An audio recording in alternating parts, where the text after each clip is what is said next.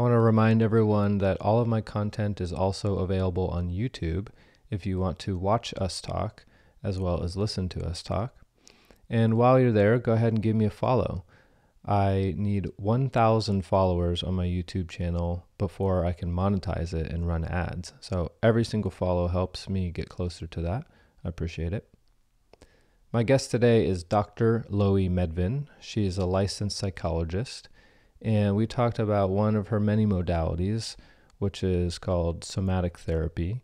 And it's um, basically how emotions manifest in the body and can result in disease, um, such as you know tension in the shoulders or anxiety in the stomach and different parts of the body where emotions manifest.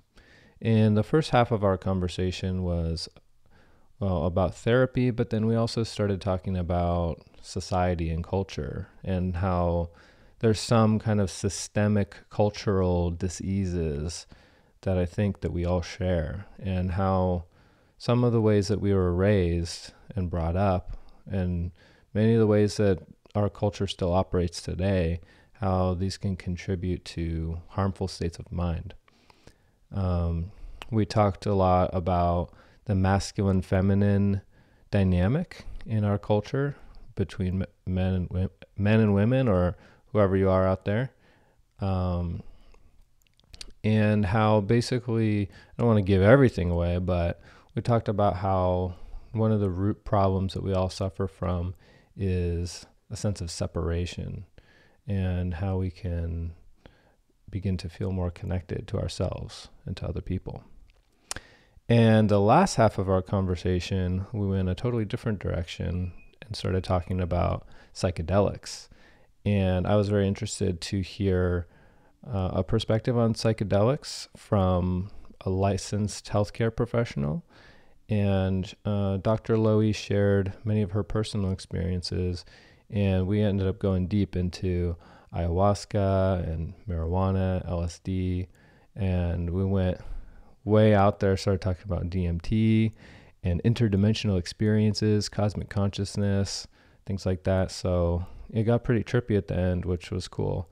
Uh, I'm glad we brought it there, and it was a uh, it was a really good conversation overall. So hope you enjoy.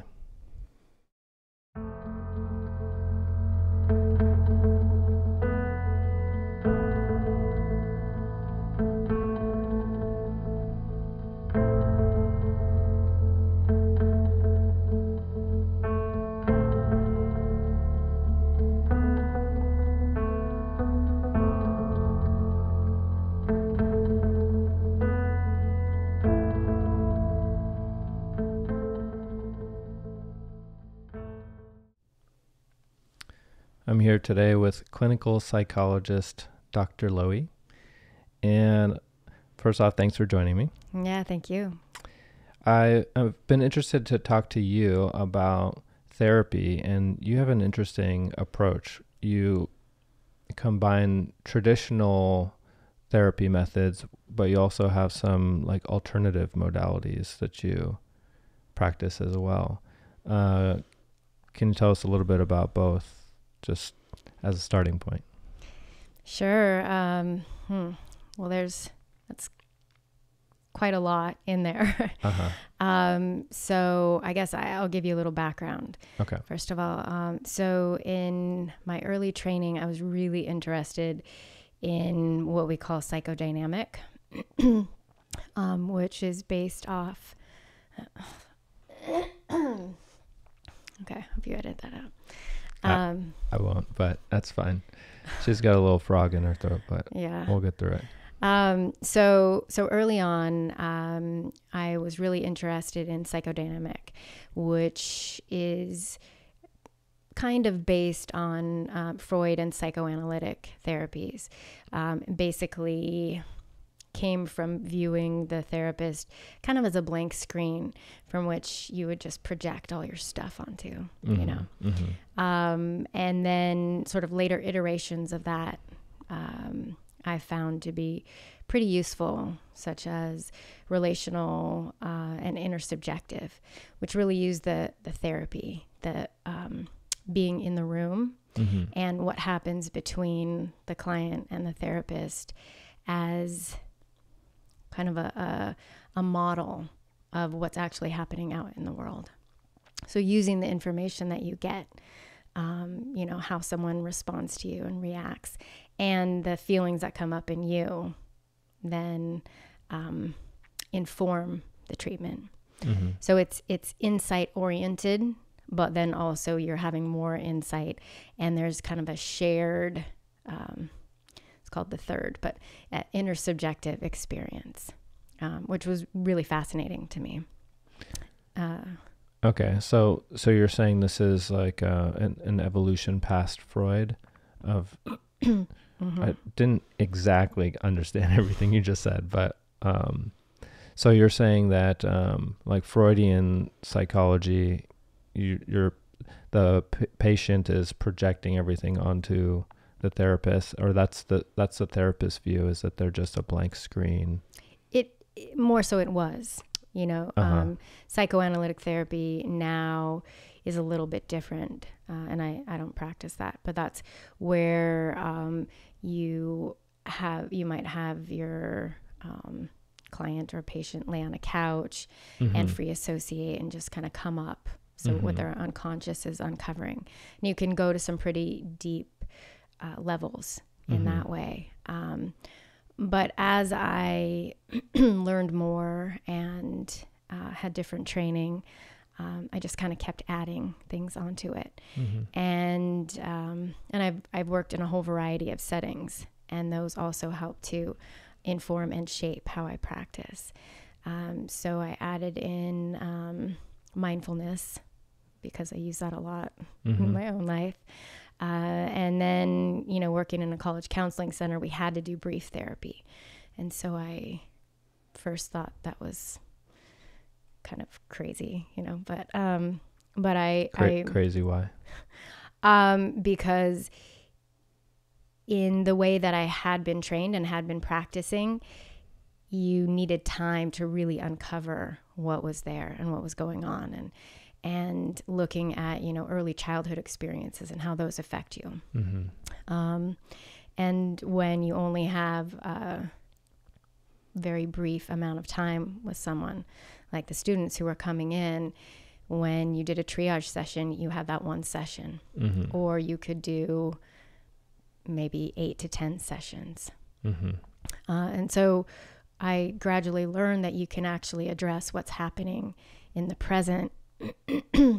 and yes, what happened in your past influences you, but you don't have to get into all of it in depth. Mm-hmm. Um, and gradually along the way, I brought into it also the um, uh, body awareness and somatic practice, Mm-hmm. which is pretty foundational in how I practice today. Mm-hmm.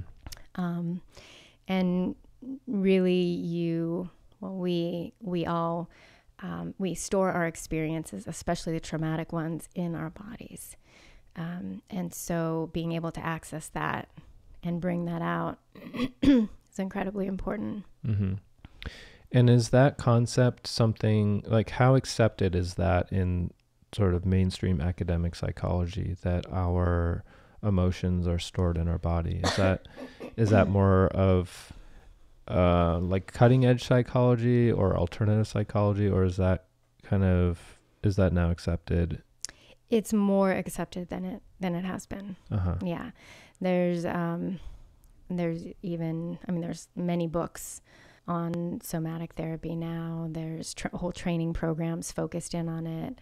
Um, there's uh, Peter Levine wrote um, several different books and has trainings. Uh, the body keeps score, those kinds of things. Um, so it's it is much more accepted, uh, but not not all psychologists practice that way, and and I think that not all of them believe that that is the way to actually access the unconscious, Mhm. like I believe. Yeah. I was a psychology undergrad and I was kind of amazed how, well, first off, how far psychology has come just since, I don't know, since maybe like the 1950s or the 1920s, which that was a long time ago. It was 100 years Mhm. ago, but, but still, it seems like they were way. I mean, they were way off. Like even before that. Um, but I was also surprised in my personal assessment or view that I feel like we still have a, a long ways to go, at least from what I learned, you know, just in kind of undergrad textbook psychology. I felt like that, and I, I didn't know about somatic psychology. Probably the most advanced thing I learned was evolutionary psychology, which talks about how not only has our body structure uh, evolved over time, but also many of the instincts that we have or behaviors or the ways that we think and behave are also evolutionarily based. Mm-hmm, um, mm-hmm. And I was an undergrad from, I graduated in 2007.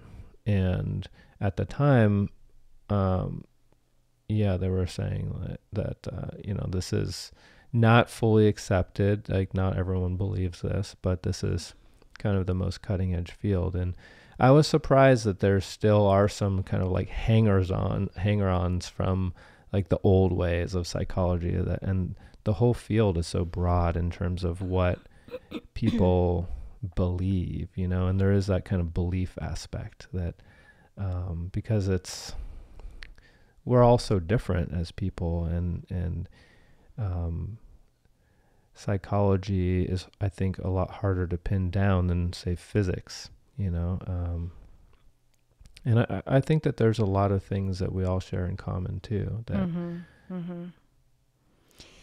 yeah as you were talking i had so many different thoughts so um, so there's i think there's value in in our history and in the in particular the history of psychology um, and many um, discoveries back then are still valid and still being used. I mean, you know, behavioral therapy, cognitive behavioral therapy.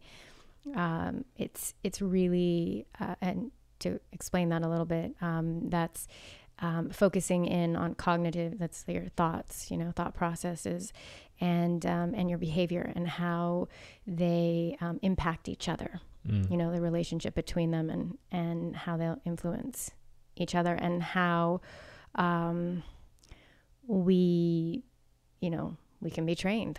Yeah. Basically, we mm-hmm. can train ourselves and we can train other people. Mm-hmm. Um, and there's there are many aspects of that that I utilize in the therapy that mm. I that I offer. Um, I would say a really exciting um, addition into the field in the past little bit has been epigenetics.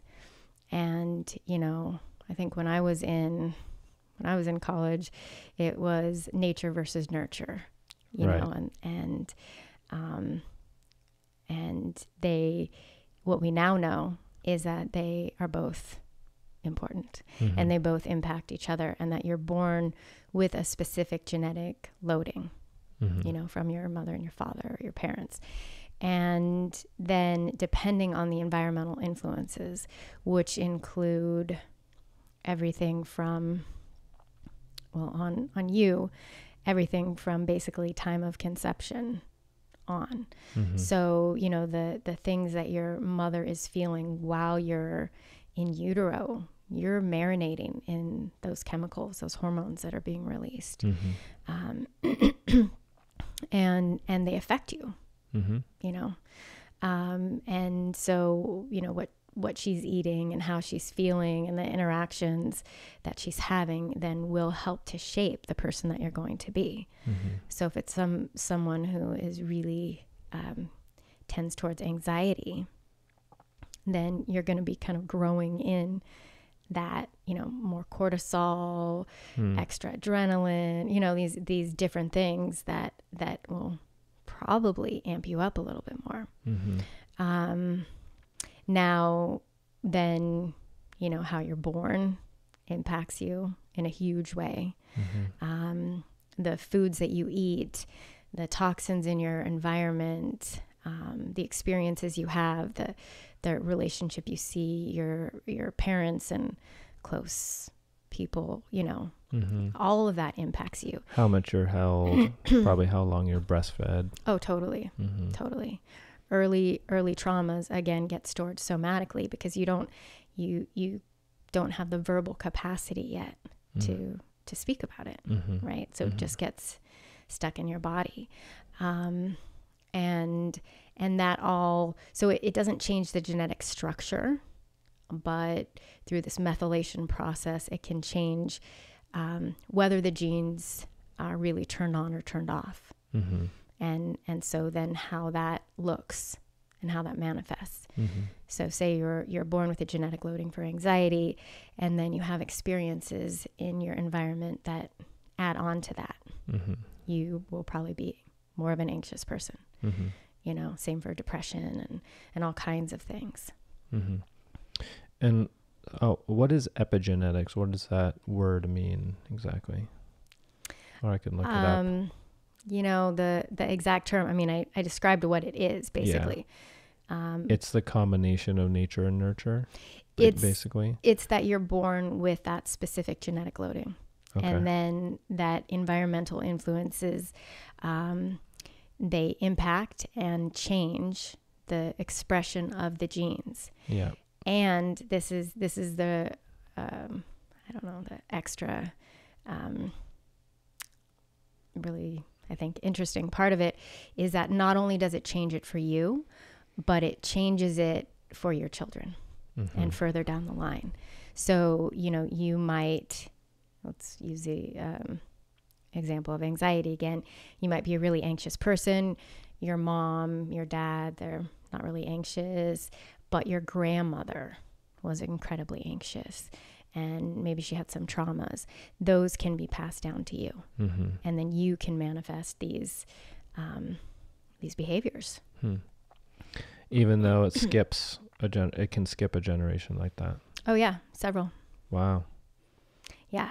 Now, the good thing um, for understanding this, because it can kind of be a lot of pressure, right? Yeah. You're thinking that that everything you do, then you can potentially pa- pass all that down to your children and grandchildren, and that's a lot of responsibility, Yeah. you know. But the the good thing about it, and um, what I really like about it in terms of how it relates to therapy, is that then you you can come in or you can do it out in the world as well but if you learn how to change those patterns of behaviors and thoughts you can also pass that down so if you Mhm. learn how to self-soothe if you learn how to rewire your brain you know those kinds of things hmm so how do you how do you help people do that? Because, um, and this is something that uh, I've been interested to talk about, talk to a therapist about this, and kind of more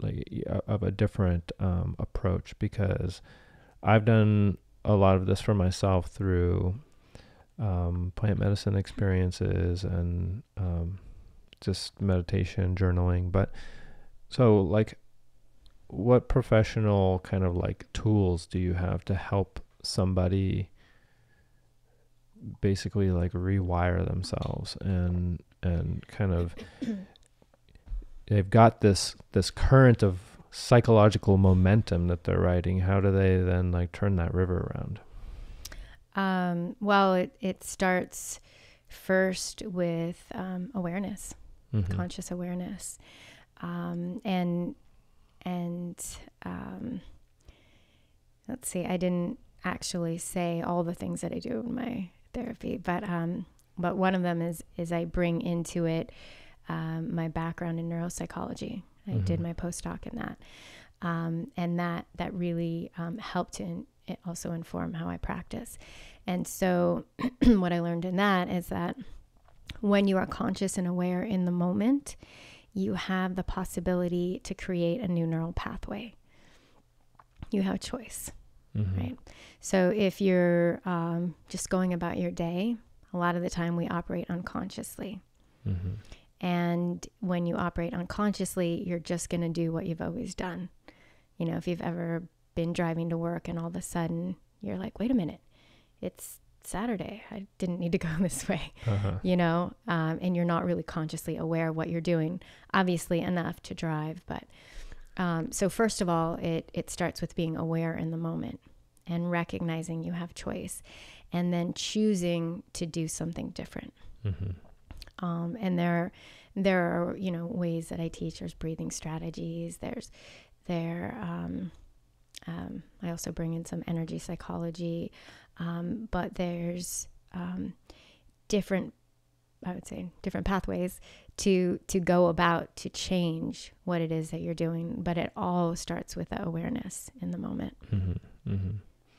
I like to use little tricks. Um, if I if especially for really background things like if I notice that I'm just in a pattern of negative thinking, for example, and I'm like I want to I want to remind myself as much as possible throughout the day to think positively. Mm-hmm. Um, I'll wear a ring or something like that. I don't normally wear any rings, and so if I put a ring on, then every time I see that ring or touch that ring, it helps me to tune in. I just Mm, mhm. where's my thought process right now? right? So it like anchors you into Yeah, and brings your awareness to. because I I'll still without something like that. Um, and I'm very kinesthetic, so thing yeah, objects and touching things like that's helpful for me. Um, but without a tool like that, I'll still kind of catch myself several points throughout the day, but even more so with a little with an anchor like that. So Right, right. And it, it is helpful to um, to have different ways to bring yourself into that moment. So what what I often do with people is that um, I have them um, start to become aware of the sensations that are happening in their body in connection with whatever it is they're wanting to shift. You know, so um, if it's anxiety and they um, they may not even be aware of actually what's happening in their body at, Mm, at first. So that's a that's a whole nother process to teach people to tune in mhm. um, and be sensitive and aware of the not just emotions but also the physical sensations that are happening because that can also be an anchor. Mhm. So if the first thing, and it's best to get as close to the beginning of when you're experiencing these things as possible. Um, so if the first thing is that their heart starts beating really fast, then every time they notice their heart beating fast, that's the signal. Mhm. That's the message from your body. Like, okay, about to get really anxious, you know? And so then it's like, I used to liken it to, say you're driving down the freeway.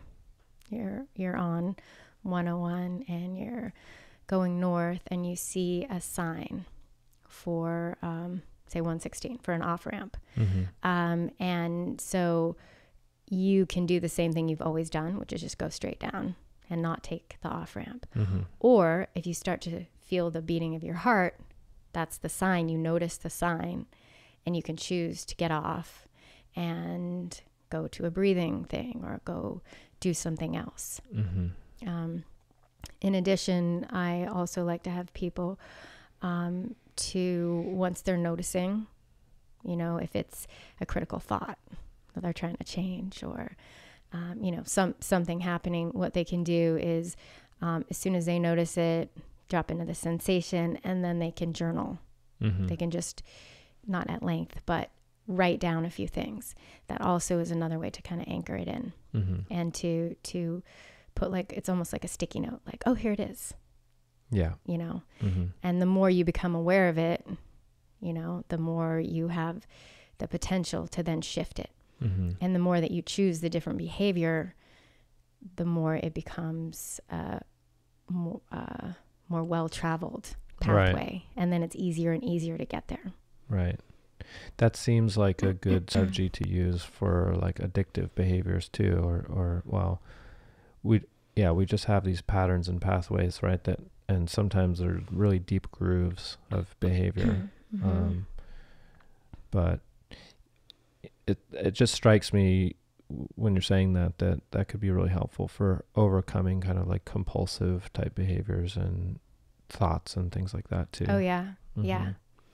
yeah and you just have to like stop that ball from rolling for a moment and just or just catch yourself doing it Mhm. create a space and breathe and kind of like reset and then make a new choice right mm-hmm. and and that is the way kind of the initial way that I teach Mhm. people to do that.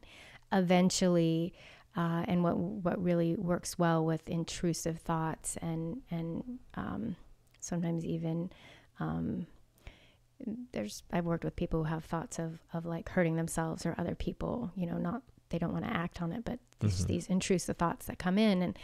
Um, one of the best ways to work with them then is after they've learned that process to interrupt it a little bit is to be able to notice it Mhm. and then notice that it's happening and let it be so you're you're not giving you're not fighting against it Mhm. you're not giving it a lot of energy you know it's like it's like the the um obnoxious uncle at your christmas uh, or thanksgiving table you know that Yeah. you're like oh uh, hey what's up and you know But and you, you let them be him- He's gonna stir up some shit. Yeah. right Right. yeah Now, have you noticed or are you aware either from your training or from your practice of kind of like common uh, roots between certain emotions and the body? Like, for example, a lot of people store stress in their shoulders. Do you notice or have you learned that um, like anger is stored in a particular place in the body or sadness or things like that? Yeah, um, often uh, sadness, you know, grief is is kind of lung, Mhm. chest area. Mhm. Um, anxiety can also be there. Uh, sometimes it's in the throat, Mhm. throat and chest. Sometimes it it might actually manifest as like um, tight stomach. Mhm. Often people, I worked with many people who um, have IBS or pain in their body, and after coming to therapy, they realize it's it's that physical um, state of dis-ease is actually a manifestation of uh, extreme anxiety, Mhm. you know, or anger Mhm. for, for pain often. Um, so um, I would say in, in anger, yeah, like kind of stomach, solar plexus, that area, Mhm. um, liver, you know, I Mhm. think in Chinese medicines, like liver. Yeah. So, um, yeah, it, it, certain people, you know, can store things a little bit differently and it can manifest in the body in different ways. But on the whole, yeah, I would say stress, responsibility, kind of shoulder, Mhm. shoulder neck area. Yeah, I've had I've had um, moments of anxiety or periods of anxiety uh, at times, and for me, it manifests in my stomach. Mhm. And sometimes I feel so anxious it's just it's hard to eat or it's hard to like digest properly. Mhm, I'll notice. mhm. So I can only imagine what it would be like to have that all of the time. To just like have your stomach in knots all the time. It would be terrible. Like you just wouldn't. It just disrupt. I mean, it actually disrupts my digestive function. I don't. Oh, sure. I can't. I can't eat as much. My appetite. I just can't put as much food in there. I just don't feel good. Like Yeah, and you shouldn't eat as yeah. much. You right, know, right. when when your body's in a state of stress, you you won't digest it as well. Mm-hmm. You know, it's like your your nervous system is is activated, and so um, it shuts off your ability to really digest well, because your your resources are kind of mobilizing to to get out of there. Mm-hmm. you know, to Mhm. keep you safe. And that's going back to what you brought up sort of initially um, in terms of like evolutionary psychology and biological function. You know, your body is designed to keep you alive and to keep you safe. Mm-hmm. And so if there's something scary happening, you can't waste precious resources on digesting.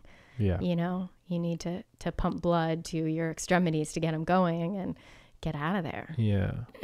and that kind of makes me think about the kidneys and the adrenals too, because I know so many people are overtaxed in that area. Mhm. And I'm curious if if you know what that's related to. Like I imagine I imagine it to be kind of like a, a fear, fight or flight type thing. Maybe not to the extreme level of like actually feeling afraid of your life, right? But I think a lot of people are kind of in a heightened nervous system state, Yeah. uh, underslept, overworked, um, compensating with caffeine, Yeah. and we can get kind of burnt out in that in those areas of our body. Totally. And uh, our lives in general, I would say the majority of Americans are so stress filled. Mm-hmm. You know, just being out in the world in general, you know, you have um, the news on, um, you have artificial lights um, that are that um, are taxing your system. You know, you have driving around. You have to be pretty alert, Mm-hmm. right? And it's it's you might not be aware in your life, but there's so many things that that basically you're bombarded by stress, Mm-hmm. let alone you know actually working and family and relationships and money. And, yeah. yeah. and money. I mean, the thing is, is that m- most people are kind of stuck in this going to work so that they can pay the babysitter, so that they can go to work, so that they can pay for their car, so that they can go to work, so they can drive around and you know buy their food from the store, and then make it really quickly before they go to bed, and then you know clean and um, and just to pay for the the things that they have. And yeah it's it's hard for many people to even think about much more than just kind of basic survival. And then when they have a little bit of time they want to tune out. Yeah. you know they want to distract disconnect because it's kind of hard. Right. It's it's hard to be present when it doesn't feel good Mm-hmm. Yeah, a lot of people go to, uh, I think, yeah, go to those compulsive behaviors, right? And alcohol or a little weed or um, hmm TV or something. Yeah, just tune out, check out. Yeah, and I I I mean how I think of it is that that's really the disease of our our culture. Our Mm. age right now is disconnection, Mm-hmm. you know, if um, and what I help to teach people is how to reconnect, how to connect into themselves, Mm. um, because that, you know, I I also like to say that um, the only way out of that kind of cycle, you know, is actually going in Mm-hmm. you know Mm-hmm. Yeah. I often this is something I think about a lot. It's just why why are we like this? You know, like what how did our society and culture get so backwards? I feel like it's backwards and um I don't know how many people feel that or see that. Um to me it's obviously backwards, but a lot of people are just kind of plod, plodding along doing the thing and yeah, I don't know. Maybe they don't even have really time to think about it. yeah But um, and, and travel has especially opened my eyes to this. Just getting out of the country for a little bit and and going to different places and seeing how different people live and even even really poor places where they have way less than we do. I see like a sparkle in people's eyes. There's there's a happiness and there's a connection there. Um, that I just don't don't see here. Um, and yeah, there's there's a sense of community in different places. So I'm curious what you think. I I I, th- I wonder to myself a lot, like what are s- some of the factors that have brought us to this place of disconnection? mm. yeah i mean in in part like i said we're just m- most people are kind of stuck in that um but factors that have brought us to it um I don't know, probably capitalism.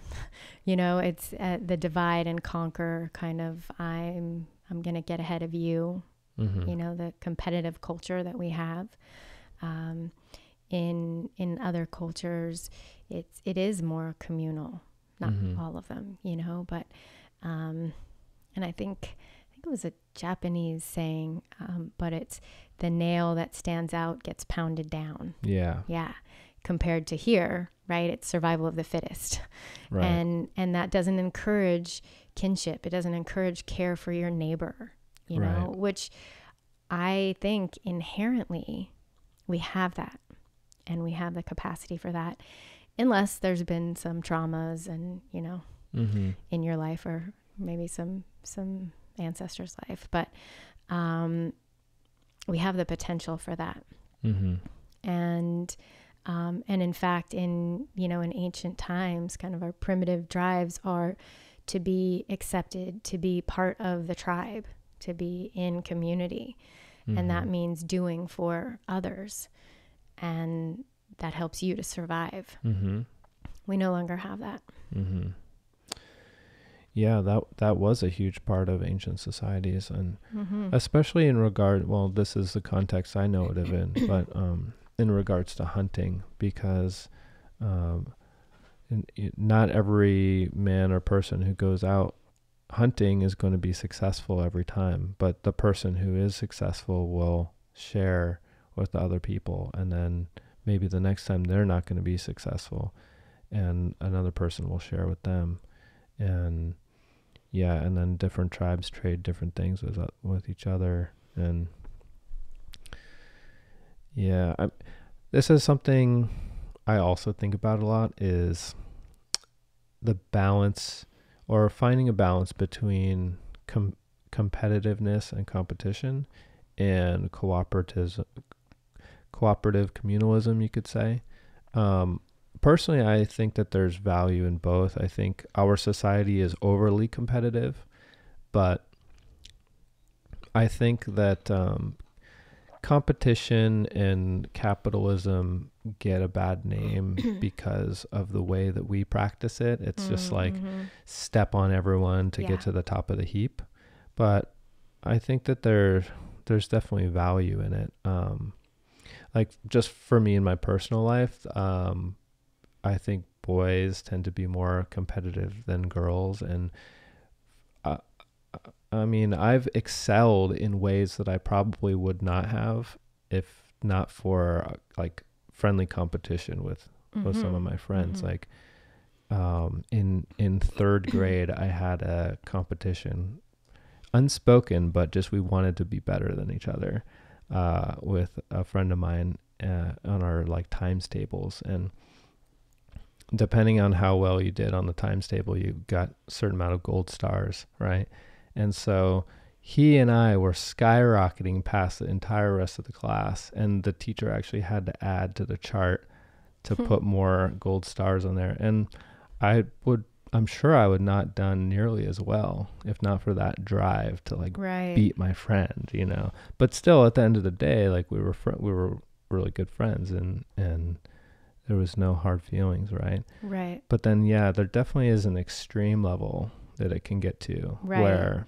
especially where people are willing to harm others or look past the potential to harm others when you get at these like big corporations that are cutting corners on their oil rigs and you know Mm-hmm. N- not just the oil rig that blew up, but I mean, I lived in Santa Barbara for a little while, and there's Yeah, offshore rigs there, Mhm. and the freaking all beaches are. Yeah. yeah, they're just leaching oil all the time into the water, and I guess the government's just letting them do it. I don't know. Well, again, that goes back to disconnection. Mm. And even what you're talking about, and there's a couple things there. You know, the competition is, yeah, is not necessarily a bad thing, but when it comes from a disconnected place, Mhm. when you don't care about the other, Right. you know, you and your friend, you, you still were friends and you cared about each other. yeah. So you weren't trying to, you know, trip him or poke his eye out or like, Yeah. you know, do something that would harm him so you could win. right. right um, and and there's something i want to to bring up within that too is that the difference between men and women or the masculine brain and feminine brains Mm-hmm. um, because um, men uh, or the masculine brain does have um, somewhat different structure and function and in aspects you know Mhm. the the corpus callosum the connector between the hemispheres is larger in in the feminine brain and so you know Which is the, it's that connector. it's the connector between the hemispheres yeah. Yeah so you have you know the right and left and then the connector between And communicator as well. yeah, yeah, yeah. It it helps to facilitate communication between. It's why, um, you know, stereotypically, um, a man might just be thinking about one thing, Mhm. one thing, and and can be very goal oriented and directed, Mhm. and then go to the next thing and the next thing. Whereas, um, you know, a, a woman or someone with a more feminine brain might think about that and then jump to something else that's associated and something else and something else Mhm. and want to talk about it and talk Mhm. about the feelings that go with it and you know and and explore that and meanwhile the the masculine brain is still on the very first thing Mhm. you know it doesn't mean men are slow it's just a different way of using Mm. their brains Mhm.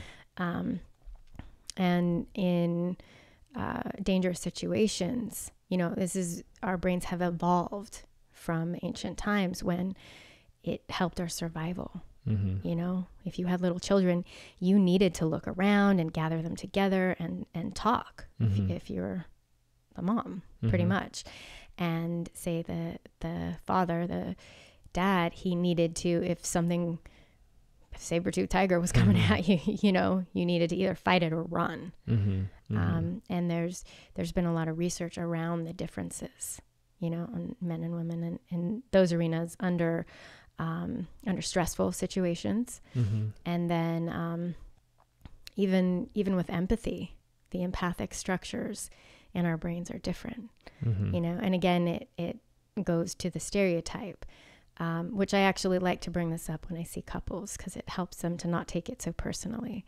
but how um, if in in what we think of as normal empathy you see something you feel it as if you're feeling it right Mhm. um, now, with men, what happens is the temporal parietal junction gets activated. And so you see something, you feel as if you're feeling it yourself, pretty much, and you need to do something.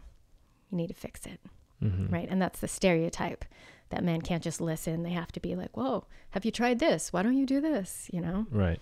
Solution oriented. Yeah. And, Mhm. But that's actually what's happening in their brains. Mhm. Those parts are activated. Hmm.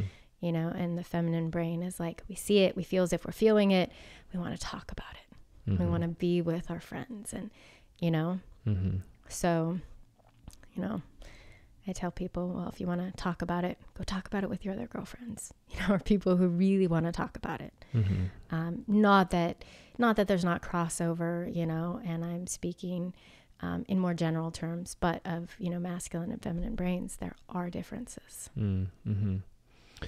Yeah, I I feel like there's a huge gap of misunderstanding in general between men and women and just even just the sort of masculine and feminine aspects are, of our society, which, you know, may be driven by a combination of men and women on each side.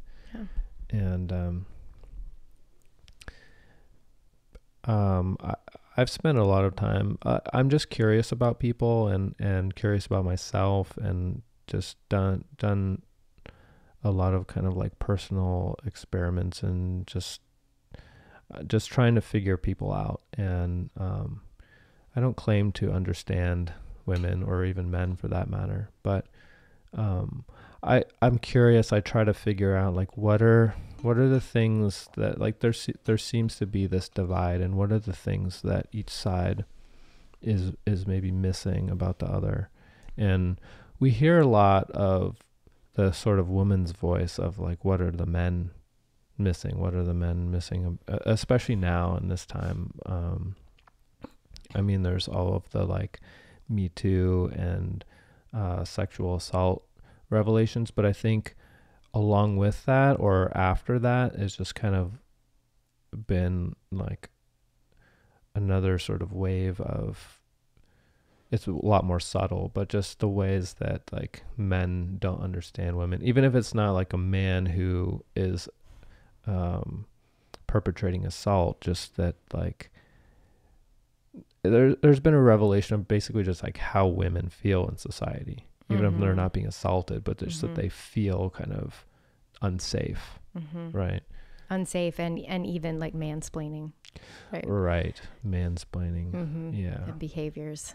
yeah discounting women as as equal you know it's like there's a way of not honoring the experience and it's not specific to women um, but but right now that's being highlighted right for sure Have you felt that at all? Like, um, I mean, I don't, I don't know how much you want to share about it, but just like, do you do you see that? Do you feel that? Um, do you see it in others, or do you feel it in yourself?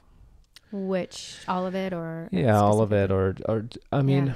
I I'm just genuinely curious. Like, as a man, I'm curious of really about the depth. Like, just what are women feeling? Yeah. Um. Oh yeah. and- Yeah. It's it's huge. I mean, in all pretty much all of my sessions yesterday, they were incredibly intense. You know, it's right now for this area, it's anniversary of the fires as well, Mm. and that's bringing up stuff. And then And for people who don't know, because there's people listen to this from all over. Yeah. There there was um, big California wildfires here. firestorm, Um, firestorm Mhm. in this particular area burned down like a large Yeah. part of Santa Rosa.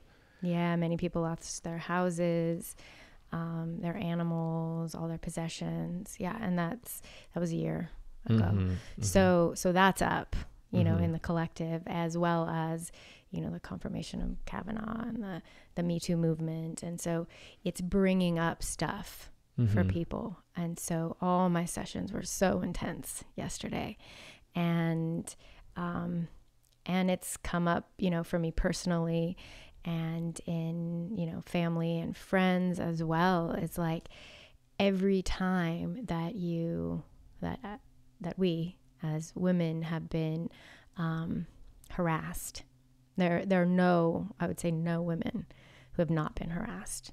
Right. Um, so harassed, molested, assaulted, raped, you know, any of those things, um, it's all coming up, Mm-hmm. and it's it's almost like we can no longer ignore that. Mhm. You know, it's in our, um, it's so much now out in the open Mhm. um, that the ways in which people have have learned to hide those things, to distract, to dissociate from those experiences, not really working Yeah. so much. Mhm. So so a lot of people are being overwhelmed and um, flooded and um, you know have to um, get some support and learn how to come back to themselves. Um, but yeah, it's it's a big thing, Mhm. you know, and and I think it needs to come out, and it's not it's not the fault of men. Yeah. You know, that's that's a big thing. It's more this, it's our culture. It's Mhm. the patriarchal culture, Mhm. and Which is which is perpetrated by all of us. yeah, Yeah. Oh yeah. Yeah. And and we have I mean, we have the masculine and feminine inside and sometimes um, women are um, equally as hard, if not worse, to other Mhm. women, Mm. you know? Yeah, definitely. Um, so it's it's not to blame a gender, you know, by, Yeah. by any means, but Which I think is really important to say, and that's that's what I feel too. But I, there, and I, I get I get that there are women that are super angry and you know just uh, thoughtless things come from places of anger. But there's there's a lot of like man hating as well. You know, there is there is some blaming of the gender of the, Yeah. the male gender happening and, and and I totally get I don't I don't have any blame for them having blame. I get it. yeah. But I see this time as more yeah, more of like a there's a collective healing process going on that's happening on on both sides, happening for everyone. Um personally, I feel like there could be more awareness or more attention brought to the needs of men in this time as well. I think that's important. I think it's everything that's happening for the women is really important, not, not to take away from that at all. hmm But there- like the men need a lot of support too. I mean, there, you know, there's part of me that's like, oh, Of like, course. you know, um, honestly, but, um, but it, it, it's true in what you're saying is, is true that, um, you know, there, it, our whole culture is perpetrating this, Mm-hmm. you know, and so men need support in that they need to learn different ways of being and to be supported to be accountable and to change the way that they're taught by their mothers, by their fathers, by our culture, Mm-hmm. you know? So a lot of things need to shift. Um, right now, the focus is more and, um, and assistance and um, sympathy, empathy, you know, more for women. Mm-hmm. And I think it needs to be there. you know. Well, yeah, Um, and and when I say that, I I mean, I think there like, I don't know, it's. I'm going out on a limb a little bit by saying that, Mhm. not because I don't feel that, but because I know kind of the the reaction to that of there there's there's this kind of wide voice that like this is the woman's time, right? And in saying that, I don't mean to take anything away from women. I think that women need a lot of support, and I think that um, the voice of women needs to be heard totally. Yeah. Yeah. And validated and acknowledged um, by themselves Yeah, as well as as well as others, and it's most especially by men. yeah, Yeah. Um, and there is there's a lot of anger that's coming out, and and in the sessions, you know, that I did yesterday, I um, I helped my patients kind of get in touch with how that was manifesting in their bodies hmm and in um, you know kind of going in and sitting with it and being in the sensation. And there's various ways that you know through imagery and through sense and sound and, and other ways that that I will help people move through that. Um, but it's so vital for us all to feel what's there hmm and that's what's coming out now hmm is people are actually feeling it. And it's kind of scary. It's scary not only for the person feeling it, but for other people. But it's really necessary that it's it's felt and then channeled um, because there's so much energy there and possibility. hmm But if it's and if it's not, it comes out either you know either it, it goes back in hmm and it and it really harms the person who's holding it or it explodes out and harms everyone else you know? So if that energy can be channeled then we could see some real shifts. Oh, what are some outlets that you recommend to to people for that? um there's well there's um, different groups that are having meetings um, around changing policies um, marching um, Oh, hel- so you're saying like kind of like political action oriented. political action oriented, um, helping other people, Mhm. socially action oriented, more more action oriented. Mhm. Um, in in terms of, uh, I don't know if you were asking in terms of kind of their own personal. That's what I was asking, but yeah, yeah. yeah. So I I think it's important to channel it out that energy, but that's after they have worked on it themselves. Yeah. And how I have them do that is again, you know, going into um, recognizing what's happening in their body, the emotion, and then dropping into the physical sensation and exploring that and really getting curious about it, being able to be with that, Mm. writing about it, um, you know, exercise. Like there's there's lots of kind of therapeutic modalities. hmm Um, screaming, you know, Yeah. like like channeling it in that way also Catharsis, yeah, yeah. can be helpful hmm um you know um but eventually uh once once they've really gotten in touch with it and are not like so disconnected from it then i think it's important to to actually use that energy in productive ways Yeah. yeah and and not divisive ways Sure. hmm yeah because that's the danger of what's happening right now hmm you know Yeah, this country is so crazy right now. Um, are most of your clientele women? Do you have mostly female clientele? right now i do mostly yeah Do you like what what what percentage? Uh, Just out of curiosity, oh gosh it's like 90% right now ninety percent. yeah Do you think that? I mean, I I would imagine that in general, the people who seek therapy is definitely probably skewed more towards females. When you say, or Mhm. Yeah, um, I would say yes, except that I also specialize in anger management, hmm and um, a good percentage of the people who seek help for anger management in particular are men. hmm that makes sense. Yeah, hmm yeah, yeah, because that's you know it, it tend again sort of generalizing here. Um, men tend to act it out. That's more socially appropriate, right? Yeah. To have anger, whereas women, depression. We turn it inward. Yeah. Mm-hmm.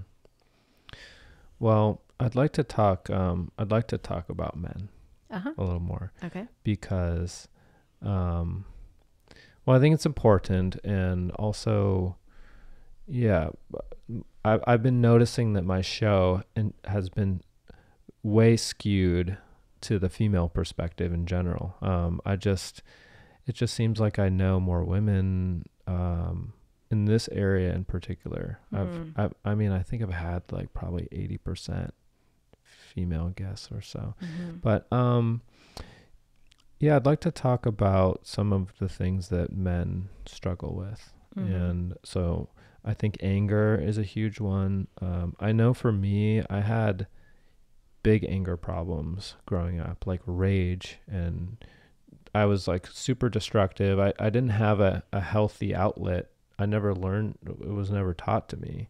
And I would like punch holes in the wall and kick holes in the wall. My dad was always like patching them up and yelling at me and stuff like that.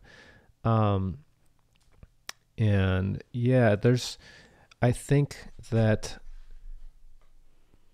part of the healthy perspective that of of overall society that that's a huge part is that um, a lot of men are angry and we don't know how to deal with our anger.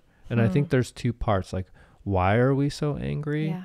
And and I don't think it's fair to say men are angry. I think there's something behind that. Um, so that's some that's Say, say more. What do you mean by that? like well i think that uh I, I mean men biologically are more aggressive we know this that that the hormone testosterone um leads to aggression and the more testosterone you have the more aggressive you are that doesn't mean that you have to act that out unconsciously that that can be channeled into healthy outlets but so i think in general, I don't think it's controversial to say that men are more aggressive than women. However, I I think that there there's something going on, and I don't entirely know what it is. We can discuss it, but there's something going on that is that is contributing to this anger that is in so many men underneath the surface Yeah. that probably most of us aren't even aware of, and I think it starts young. Yeah.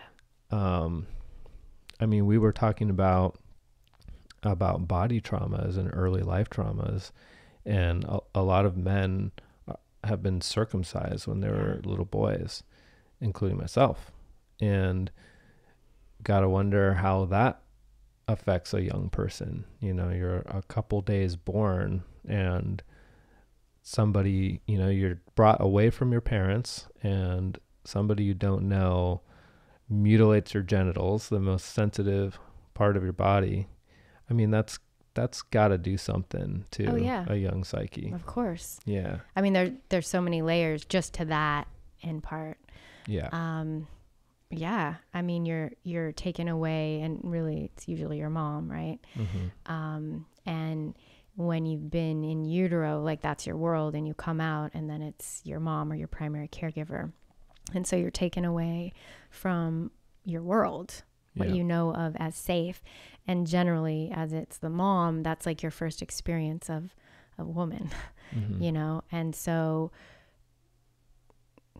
It, you know, back in the day, everything was blamed on on the mom, Mhm. even schizophrenia was a Mhm. schizophrenic mother like caused it you know Mm. so but in a way that is true that that early early on that's all you have and so anything that happens to you kind of gets put in connection with your mom your Mhm. primary caregiver and um yeah it's i mean it's incredibly traumatic Mhm. i i am i i'm It's still incredulous appalling that, that, that's a practice. oh yeah It's appalling that that, that that's Yeah. still allowed to do. mostly with no anesthetic hmm and And I think people are like, eh, they're too young. They won't remember. You know? Yeah, so it gets stored in the body. It does. Right. And so it's your first kind of sexual experience. You know, there's, like I said, there's so many layers. Um, you're cutting off uh, uh, an innocent baby, Yeah. You know, you're inflicting pain.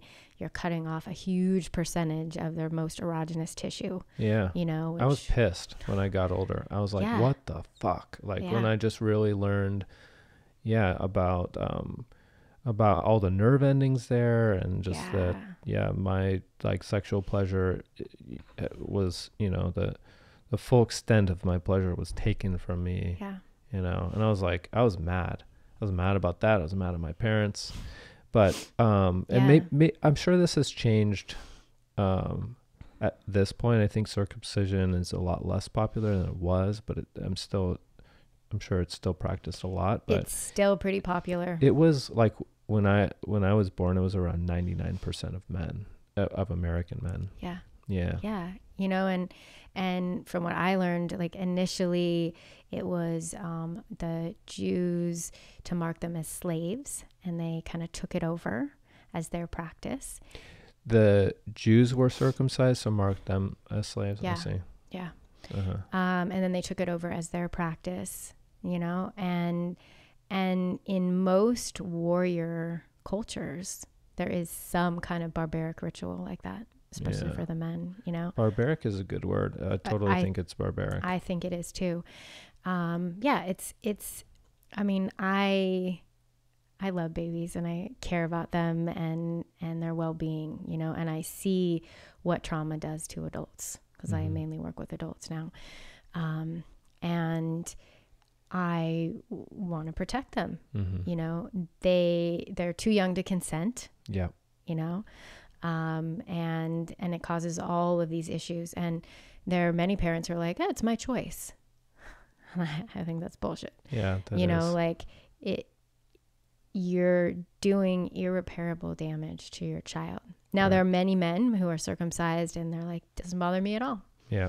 i wouldn't want to be more sensitive you know i've heard that before Uh-huh. um, but the thing about that is that the foreskin actually protects um, the the penis and it um, provides like lubrication and you know it performs all these functions Mm-hmm. um, and I don't know, we could kind of go down that rabbit hole, but um, but certainly it, it does it is it is trauma Yeah. to the child. Um, now taking a step away from circumcision, you know how the baby is born Mm-hmm. impacts a lot. Um, and then, you know, as you brought up earlier, whether they're breastfed or not, um, early influences as well Mm-hmm. um, you know, in the environment.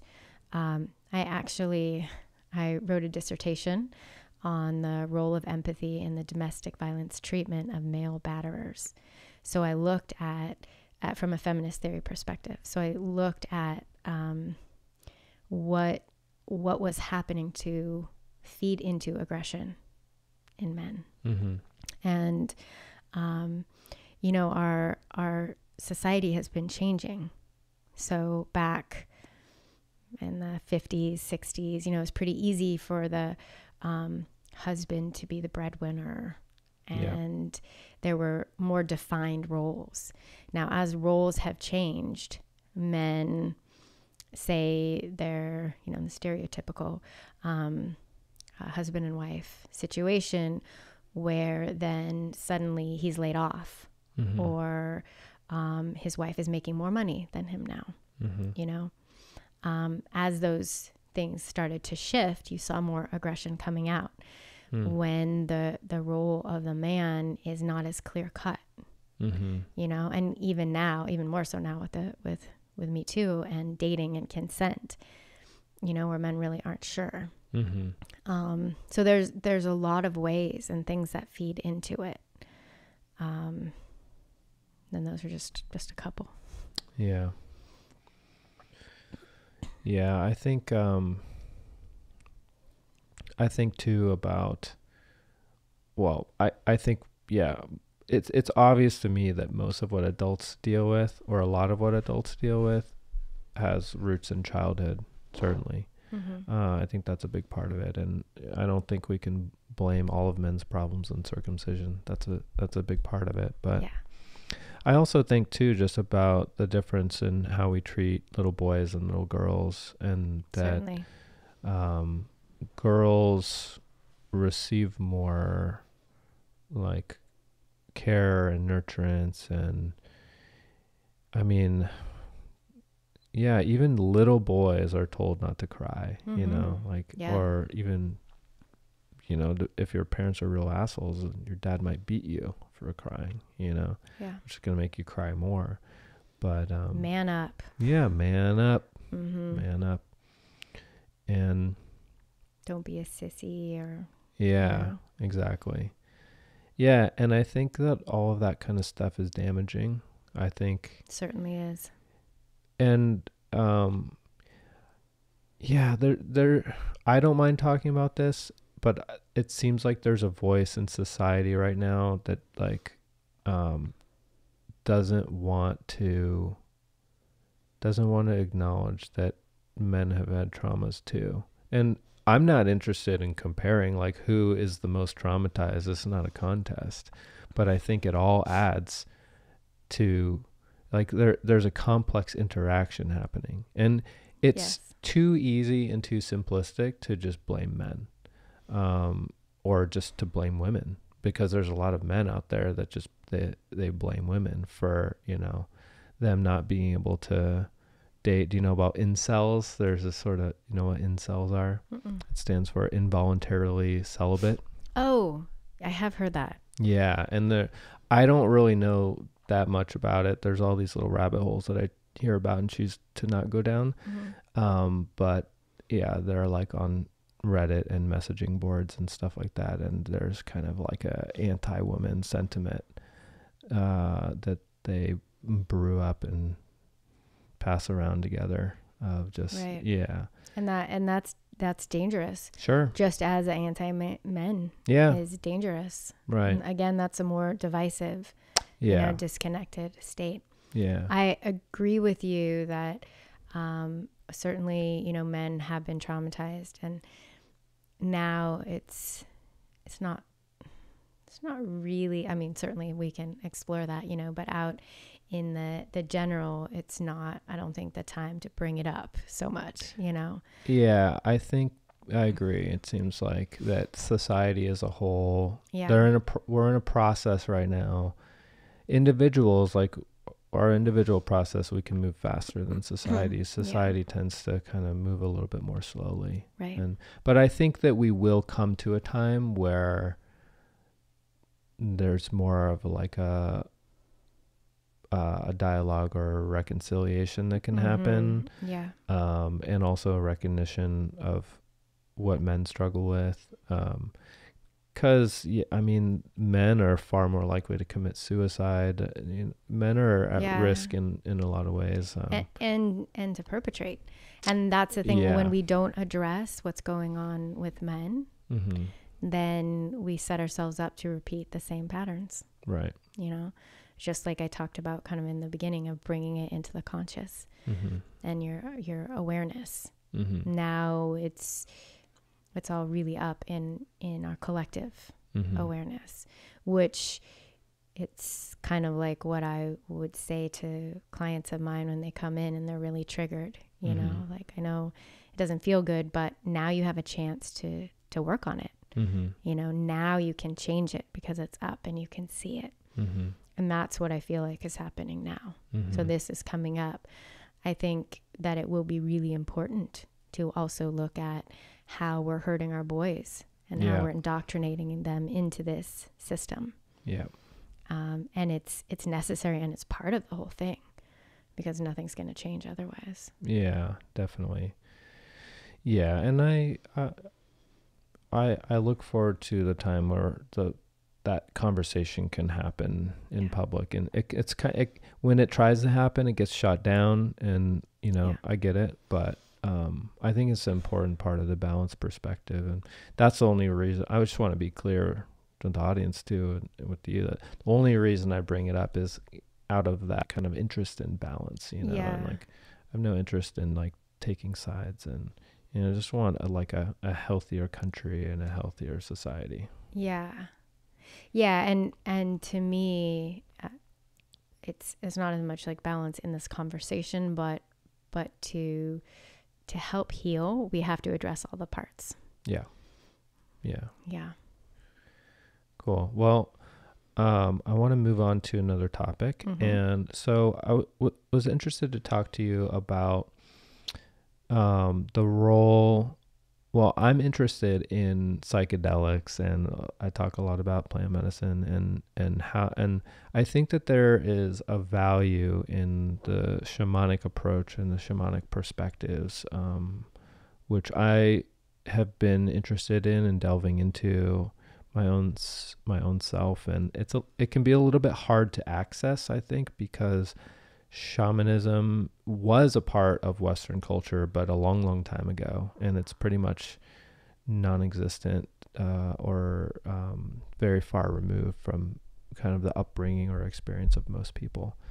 But um, it's coming into the public eye more and more and a lot of the drug restrictions that were placed onto everyone, but even researchers are now gently being lifted. And um, there's MAPS, which is, uh, I, I actually don't know what it stands for. Do you? Multidisciplinary. Uh, I don't remember the A. I don't remember the A either. Psychedelic soci- studies yeah. or societies. Anyway, Yeah. MAPS, M-A-P-S. They Mhm. they do psychedelic research and Mhm. they're researching MDMA in particular, probably Yeah. other things as well, but they're most well known for that. Uh, John Hopkins has done some studies on psilocybin, which is the active ingredient in um, mushrooms, psilocybin mushrooms.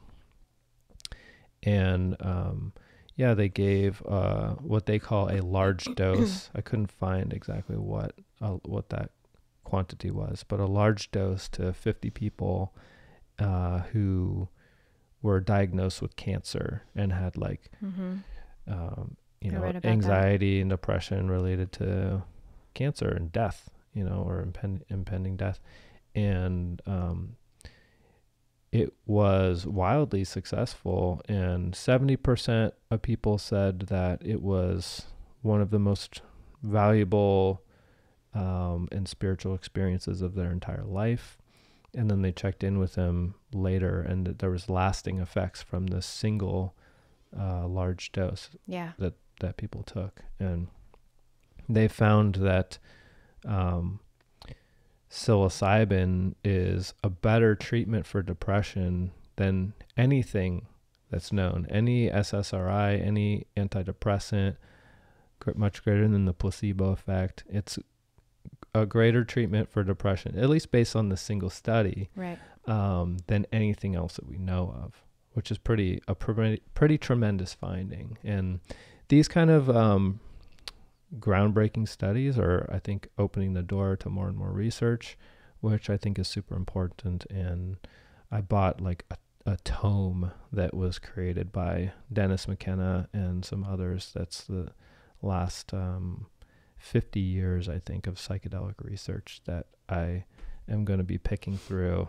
Mm-hmm. probably over a long time Mm-hmm. to try and understand that perspective. But I think that um, there's there's going to be a place for psychedelic psychedelic assisted psychotherapy or therapy uh, in integrating kind of these um, chemicals and um, plants into I mean and that's essentially what shamanism is, or that's essentially the role of a shaman. They're sort of like a psychedelic therapist. Um, Not always it- with substance, though. yeah, Yeah. that's true. Yeah, not all shamans work with substances, but Mhm. at, at least the yeah the one the one- the ones that do that shaman is kind of is playing that role of facilitator, skilled Mhm. facilitator. Mhm.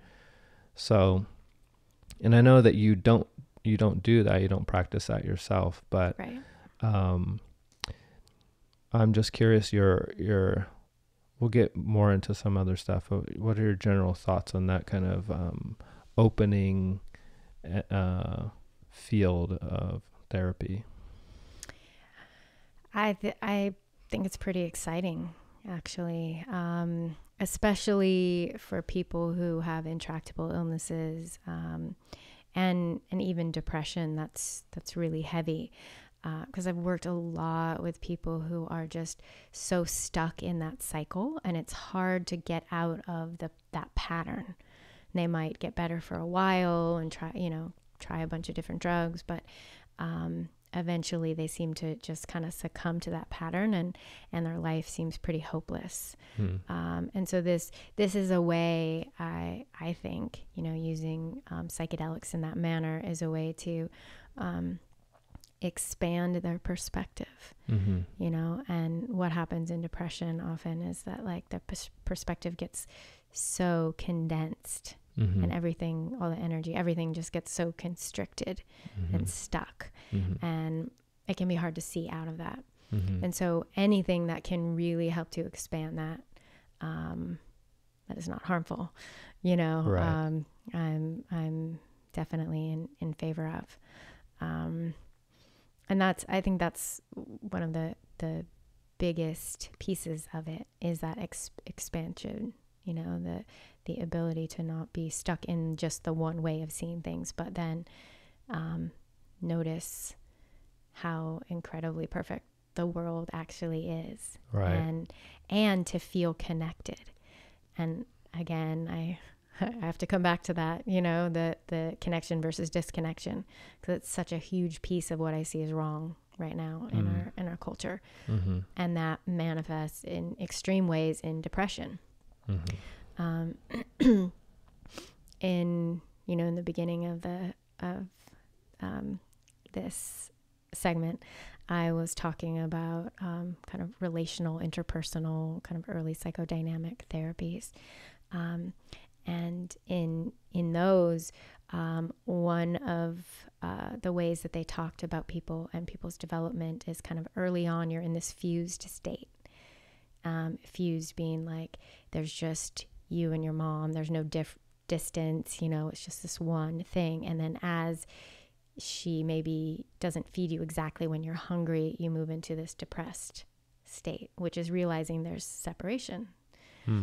Um, and that as adults, we tend to kind of go in and out of those states and others.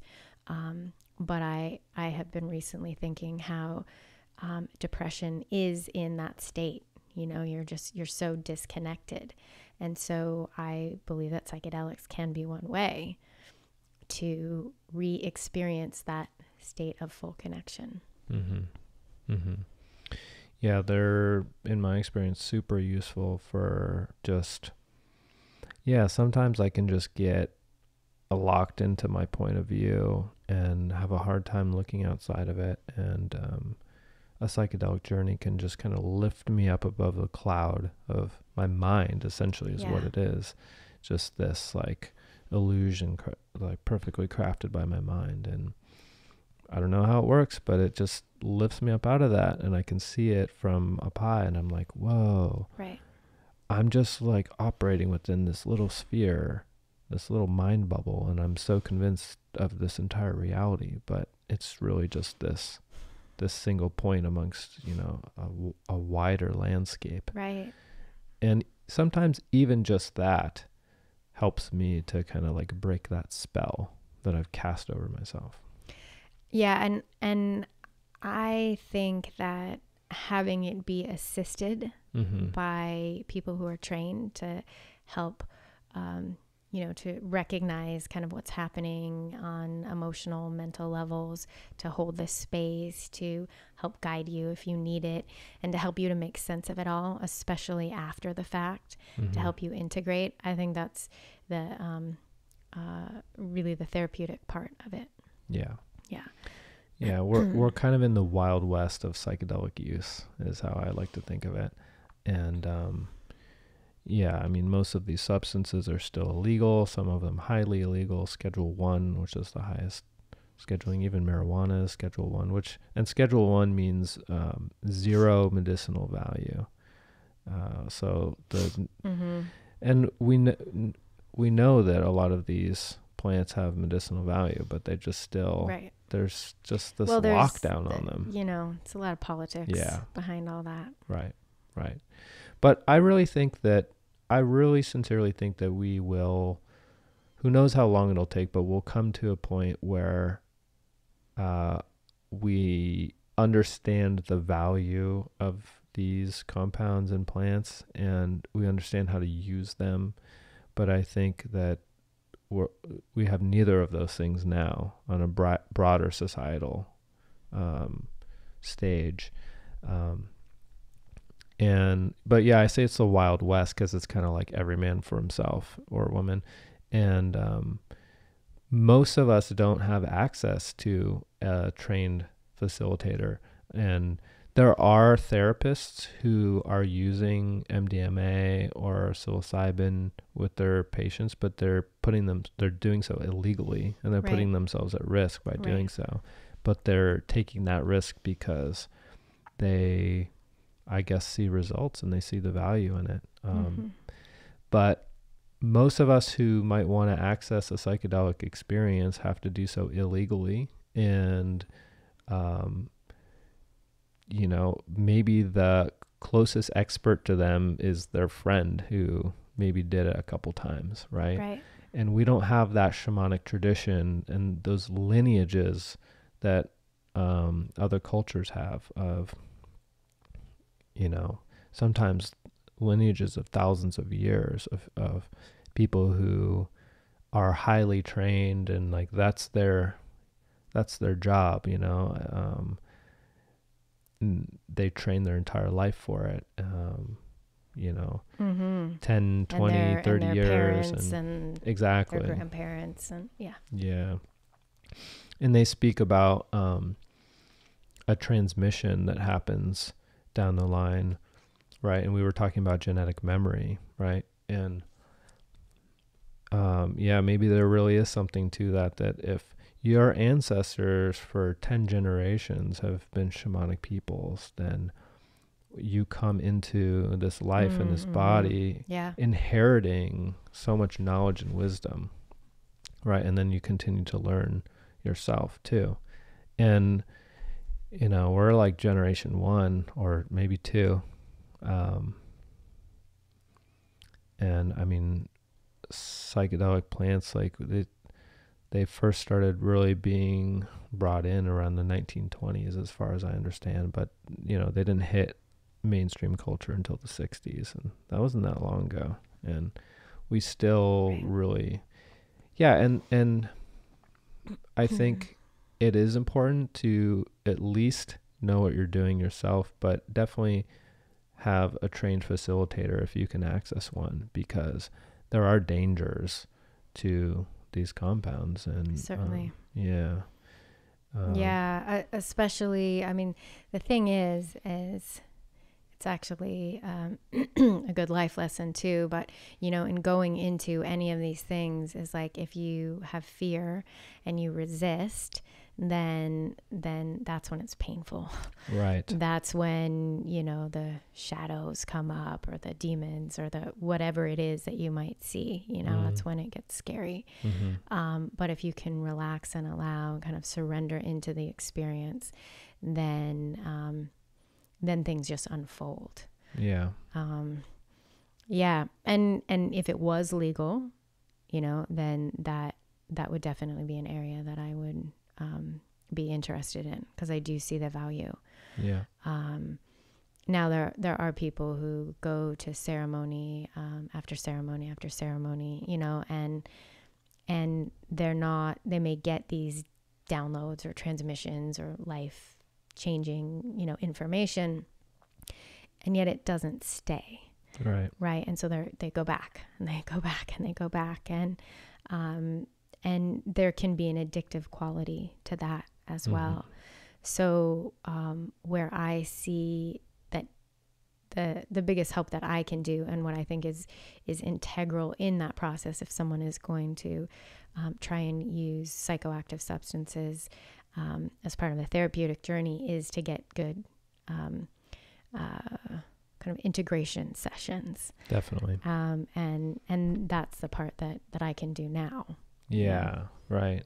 Okay. So is is that something that you you like offer to people in an official capacity that you can you can um is or is that something that you put on your website or anything like that or just something I haven't that put it. I haven't put it on my website. It's not people know now? officially. yeah, um, yeah. I mean, Yeah, I, I That's good. really with with any kind of life changing experience, you know, whether it's a big festival or go to Burning Man or you know whatever, you have some kind of life altering thing. Uh, it's really important to have a way to make sense of it and how to integrate that back into your life.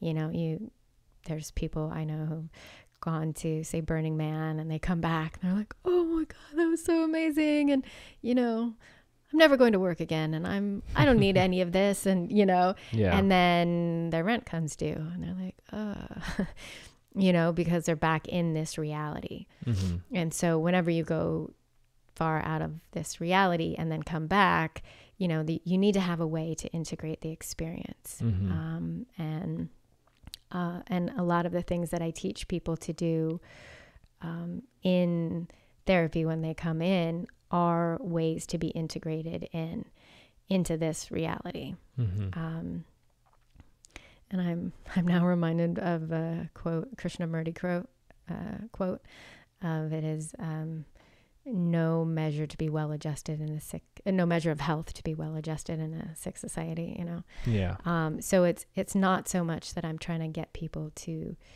sort of, I'm trying to get people to be well adjusted, but more so just to be kind of connected into themselves and grounded in themselves again, so that they so they can function or make um, more rational choices. hmm Yeah. And uh, I cleared with you beforehand if I could ask you about your personal psychedelic Mhm. experiences. I'd like to know, yeah, how did you like what what kind of different ceremonies or plants have you uh, experienced, and just what is your whole um, experience with uh, psychedelic plants? um, yeah, it, it started pretty early. Now, are you you just talking about plant medicines in particular, or all kind of psychedelics? Yeah, all kind of, all kind of like consciousness altering psychedelic experiences. Yeah. Um, well, the, the first time I can remember, um, which I didn't realize actually, I had um, eaten some acid when I was pretty young. That uh, Without realizing, yes, Oh, wow. yes. Um, how old were you? I think maybe like 10 or something like that. And um, I, I I had a friend who was a little bit older, and it was his his family had had it and hid it away, you know, hippies and stuff. Mhm. Um, and I talked to him about it some years ago. Um, and I was like, yeah. And I, I remember that sugar cube that like had nail polish on it. And then I remember this big kind of scary tree with the roots. And he's like, you, that was acid. I stole that from my stepdad. um, so I didn't actually know until many years later. Um, but I did, um, you know, I think I, I started, um, I tried marijuana when I was younger and, um, and that can be, I think personally, it can be good medicine Mhm. because again, it can provide a shift. Mhm. Um, now, I'll jump for just a second. I tell every one of my clients who come in to see me who smoke, I ask them not to do that before they're going to come in to see me because as it alters your perceptions and the way you deal with your emotional states, it's not so good when you want someone to actually be present in what comes up naturally, Hmm. you know? Mhm. Um, now, if I was doing it in a therapeutic manner, that would be different, but it would have a different frame. Um, Is it that you want like um you want consistency from session to session or you want to you want to work with them in that kind of sober mindset? I want to work with them as I see them as as they kind of really are, Yeah. not in an altered state. Mhm. Um, like I said, you know, if it was it was legal and the purpose was that we were exploring things in this other state, that would be different. Mhm. Um, but as it is, and there are some people who smoke a lot, um, but really my my goal is to have the person be able to learn to manage their states without without much else, Yeah. you know. Right. Um, so, um, yeah, so I've experimented, um, you know, when I was much younger with different things. Um, and Some, have you have you um, done any psych? Have Have you had any psychedelic experiences since becoming a therapist? And like, so I, I'm interested in your point of view, like as a as a mental health care professional, and Yeah. like, what did you get out of the experience, and what did you make of it? Yeah. Um, yeah, earlier on, I started to work with a retreat center who was offering ayahuasca. Um, and so I was helping them. Um, I at least started to help them set up their intake program and the integration piece in particular. And so, as part of being there, then I um, participated in some of the ceremonies. Um, and what I what I found in my experience was that I didn't, for me personally, it it didn't really show me anything new. Mm-hmm. It it highlighted some connections for me. You know, one time I, I came out of it and I was just heartbroken around what we're doing to the earth, Mm. you know. And so. I'd I'd gotten that on this really deep level. Mm. Um, and I've had various experiences like that Mm-hmm.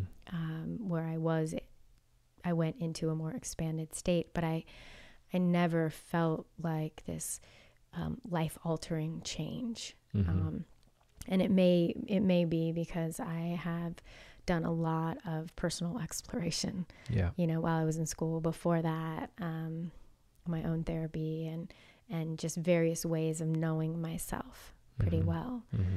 Um yeah so so in terms of of that experience i didn't um it it wasn't as helpful in terms of um finding something like incredibly different and and long lasting Yeah.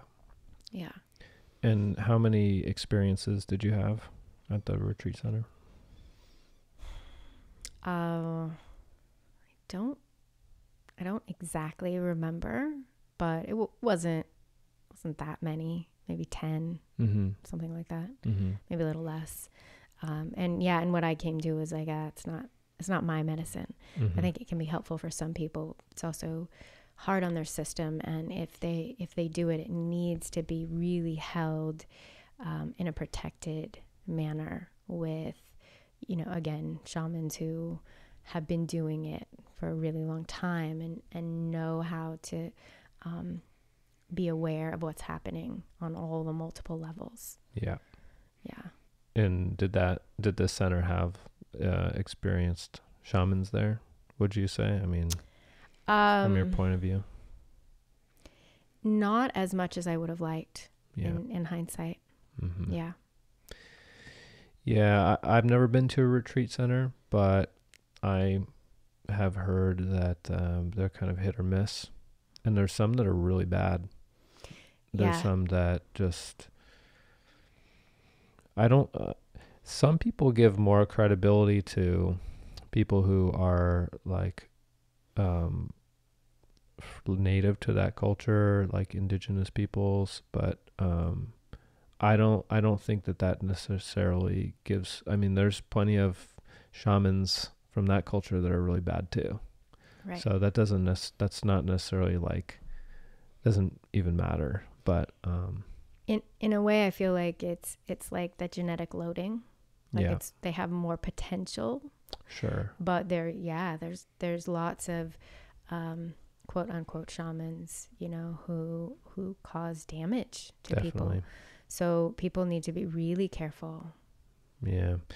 And um the those are now considered the old ways and a lot of um a lot of the sons and grandsons of lineage holders who, you know, like there are the, the these kind of grandfathers that were raised in the old way from childhood, but the the youth now there there's not as much interest in in in learning their father's way. They're more interested in just modern stuff and Right. and also just like Western style materialism is rampant through Central and South America now. Yeah. And yeah, some of those ways are are starting to fall into less and less use. Um, but there still are a lot of good places to go. Um, so, um, so ayahuasca is not your medicine. Is there one that is that you, that clicks with you a little better? I would say um, there are two that I've found that I, um, when used in kind of a sacred manner, that I um, that are pretty helpful to me. Mm-hmm. Um, and one is marijuana. Mm-hmm. Um, again, like I mentioned, you know, it can it can really just be a connector in and a reminder. Mm. Um, and then the other is um, it's uh, toad medicine, uh, Bufo alvarius, and um, and this I have had twice, and you know, Mm-hmm. um, Which is several years apart. five meo DMT. DMT, hmm hmm which is the stronger kind of DMT. Well, I, I've never done five meo DMT, Mhm. but that's what people say that it's uh it's quite a bit stronger. it's really powerful. Mhm. Yeah, and um, you know, I did. I I tried it the first time because in the past years, I have been kind of going through a healing crisis. And the first year that it manifested, um, I had a lot of physical sym- uh, symptoms, um, rashes on my arms and legs, and really sick. And um, uh, so when I was in that year, kind of coming to the end of that year, uh, a friend of mine told me about this, and I was willing to try, you know, pretty much almost anything to to shift the level of discomfort I was having in my body. Um, and so I um, I went in and I learned right before I was going to do it that um, some people when um, when they you smoke it um, and and it's like a is it a secretion from the it's toad? the Is it- venom. okay. Yeah. Does yeah, that come from dried. a gland or it's like scraped off of its back or something like that? no, it's from um, I think it comes out like from their their teeth or fangs or something. Oh, something like that. I'm not actually Okay. 100% sure, but I know that, um, you know, they, they have to harvest it yeah. from them. And there's, there's different ways that they do that. Um, and, um, in ways that are not so invasive too, and, Mhm. you know, don't harm them.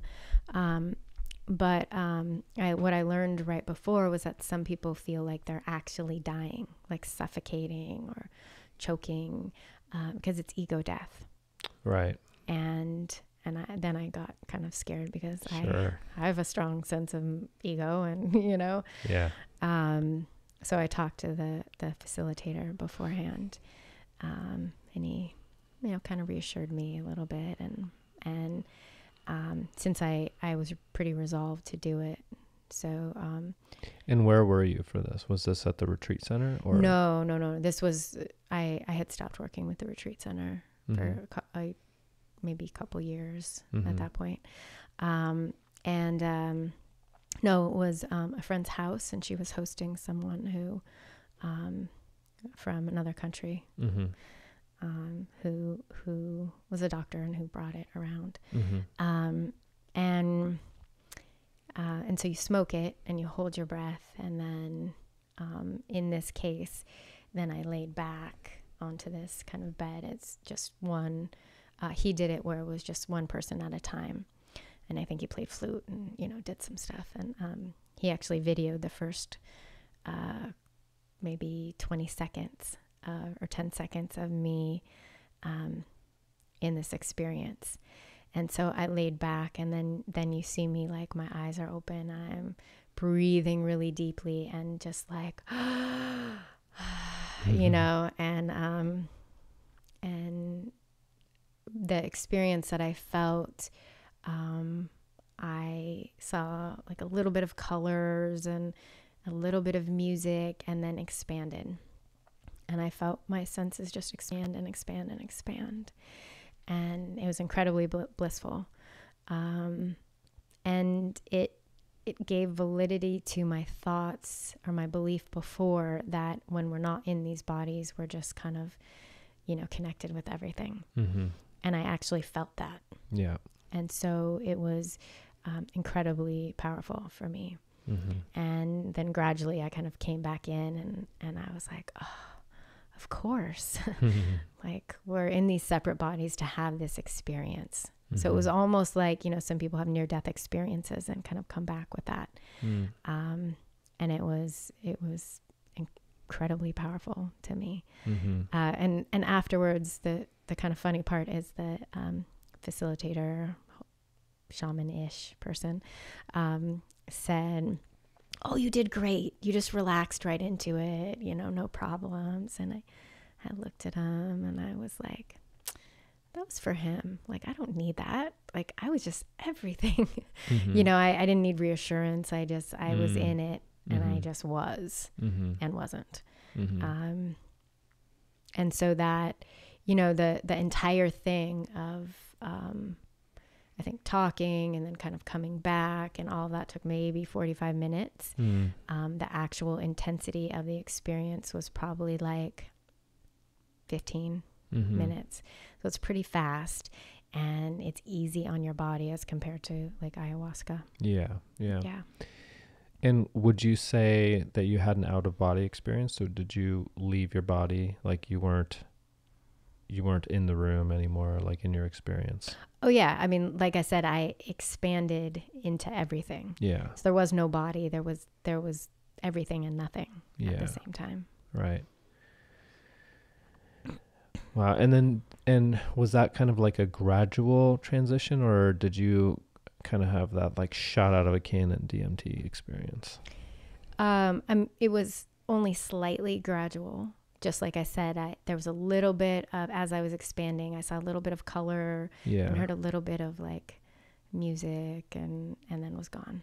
Yeah, yeah, yeah. Some of some of my experiences have brought me that kind of that a similar feeling of like it's so obvious that we're more than these bodies, right? But it's it's a lot less obvious just in a normal state of consciousness. But yeah, expanding beyond the body, or yeah, going to other dimensions, or all kinds of things are accessible through psychedelics, especially DMT. But um because yeah i think a lot of the sort of clinical external perspective is uh it's unknown whether well i think most people think it's a hallucination that um, you know these chemicals are affecting your brain in a certain way and you're having this hallucination Right. and maybe uh, people will have common hallucinations but Mhm. it's all in the mind I mean, all this is in the mind too, right right? yeah that's you true you think you're hearing my voice outside of yourself. You're hearing it inside yourself. It's, yeah You know. Right. Uh, everything I'm experiencing is through my sensory organs, which are interpreted by my brain. Totally. Yeah. So, yeah, I guess in a sense they're right. But yeah, well, that's a deeper existential question Right. that I don't right. know We're not going to get into that right now. yeah. Yeah. Yeah. I, I'm a little curious to try 5-MeO DMT, Mhm. but I found regular DMT, which is called NN DMT, to be fairly intense, and I did it maybe 30 times over, um, I don't know, probably a total of six months, and then, Yeah. um, and yeah, I had some fascinating experiences, but it was, it was hard for me to get comfortable with it. I never quite was able to actually fully relax into it Hmm. um it, because and maybe 5meo is different but i found it to be very aggressive. It's just it's such an intense kind of jarring experience and i think i have egoic structures strong egoic structures that have trouble letting go. And apparently the trick to undoing those is to smoke even more. Uh, that you gotta really you gotta really like well Terence McKenna's uh, suggestion is to hit the pipe as hard as you can and hold it in and then blow it out and then take do the same thing the second time And he says the trick is you got to go for that third hit. And after the second hit, you won't want to. You're like, why would I possibly do this again? Because you're already starting to lift out and starting to see colors. But he says that that trick is you gotta you gotta hit that third one, and then you won't even feel yourself letting go of the pipe or laying back. You just get that full full cannon blast. Hmm. And I only did that one time and I went I went fully out of body. I happened to be in a hot tub at the Ooh, at the time, That- which seems a little sketchy. uh well there were other people there and um we took turns, so you know uh, uh yeah, it was an interesting choice. We were like cuz yeah, we were like gonna go in the hot tub. I don't know. It just kind of came together, but um yeah, I went really fully out of body. And so I had a similar experience every time up until that. And I went even farther. And what the, every time I would kind of go through this kaleidoscopic tunnel of colorful shapes and geometries. And that was the kind of like coming on period is I w- definitely had this sense of moving, like kind of like in Star Trek, how they go warp speed and you see Mm. all the stars fly past you. It's like that, but with like with like different shapes and geometries. And then I would come into what other people described as the room, and it's kind of like being inside of an interdimensional grandfather clock.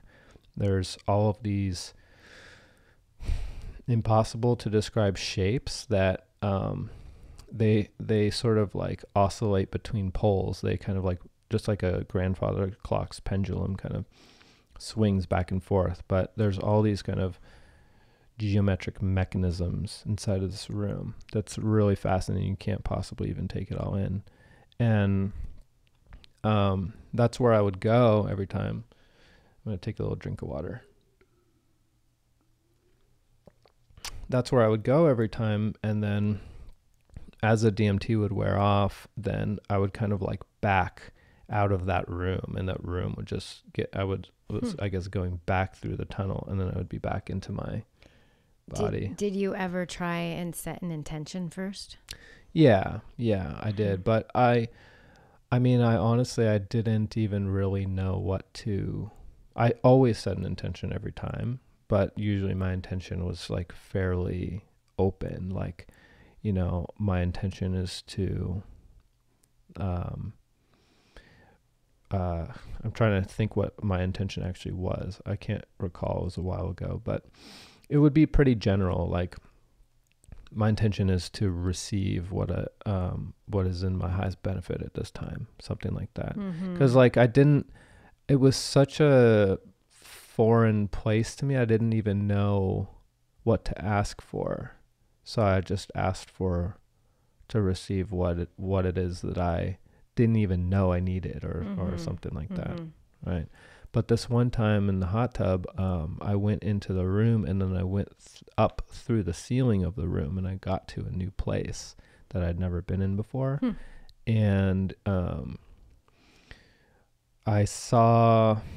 That's even harder to describe, but it was kind of like looking into a mirror when there's a mirror behind you, and you see like a thousand mirrors Mhm. it was like that but in crazy psychedelic color and then um i don't remember i kind of like it was actually really intense i think my mind was just like nope like i i couldn't hang it was just so hard to cope with it was Hmm. just so wildly foreign um but a friend of mine was um, so we had gone around the circle once, one at a time, and then we were doing it in pairs. So there was a, a woman, a good friend of mine, who um, she's now an ayahuasquera, but at the time wasn't, and um, she did it at the same time.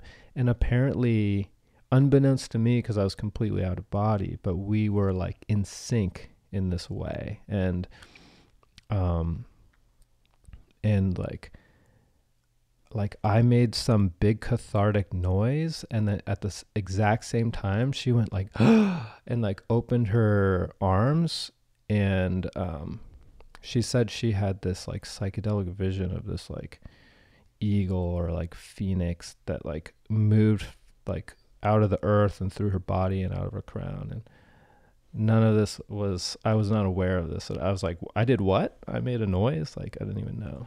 Um but yeah, and then as I was coming back into my body, I I had completely forgotten that I was in a hot tub and I was up against the jet that I had a jet at my back and uh, I almost I almost freaked out because I didn't know where I was and I felt like I was still halfway in the cosmos and I felt like I was like a boiling chicken in a pot or something like that. Uh, And luckily I realized that I was just in a hot tub, but I was al- almost freaked out. But um, anyway, thanks for listening. That was fun to tell. But um, yeah, it's a pretty it's a pretty wild chemical, which you know our own brain makes, and yeah, uh, we have receptors. yeah, Mhm. yeah, and I think that's one of the reasons it works so well, and that it, it's it's such a clean experience um, because our brain knows exactly what this chemical is and um, and where it goes and how to break it down cleanly. Um, now, of course, the brain isn't used to having that much in it, so maybe that's not good for it. But in my experience, it's a pretty like I, uh, I'll come back to completely normal consciousness, yeah, with well within an hour hmm and be totally fine. Yeah. Yeah. I mean, there's only a few other times when your brain produces like a big amount right? Yeah, when you're born and when you die. and orgasm. Oh, really? Mhm. I did not know that. Not quite as much, but yeah. Hmm. Hmm. Yeah. Interesting. Yeah. So, um, my second experience Mm-hmm. um, that I had uh, was um, completely different. And With the toad medicine. yeah, Okay. yeah. And I w- this time I wanted to um, uh, be present and to stay connected and to actually. Um, I mean, I remembered what happened, but there was a whole period of time where I just wasn't in the first time, you know. So I, I really wanted to, like, y- you know, ask, am I on the right track? Am I, Mm. um, you know, what do I need to know? Am I doing what I need to do? That that kind of thing. Um, and it was last year when I was uh, in the third year of these kind of healing crises that I went through. Mhm. Um, and this that that last year was um, the end of like the energetic oversensitivity, um, and shifting into um, like a more spiritual or kind of I, I would say all of them because I went through a physical oversensitivity, then an emotional oversensitivity, and then um, that energetic oversensitivity. So, um, so I was wanting to kind of put it all together Mm. and and figure out, you know, how it could shift. Um, and this was a, a different person held the space whose family had been um, practicing um, these types of uh, of medicine and healing um, and and others. Um, and so this time uh, I started standing up. Um, and um, and as I was um, smoking it, he told me to keep my eyes open. And so I did, and they stayed around me um, to make sure, you know, I didn't fall. um, and as I um, started to uh, feel it a little bit more, um, what happened was that it went from like 3D experience to 4D experience to 5D to 6. Like everything just kept expanding outward Mm. more and more. Um, and yet I was I was still here, Mhm. you know, here and and not here. And Can you describe a little bit more of like what what is that if if you can what does that feel like? the different like when you go to 4D or 5D. I mean, what is that? How is that different?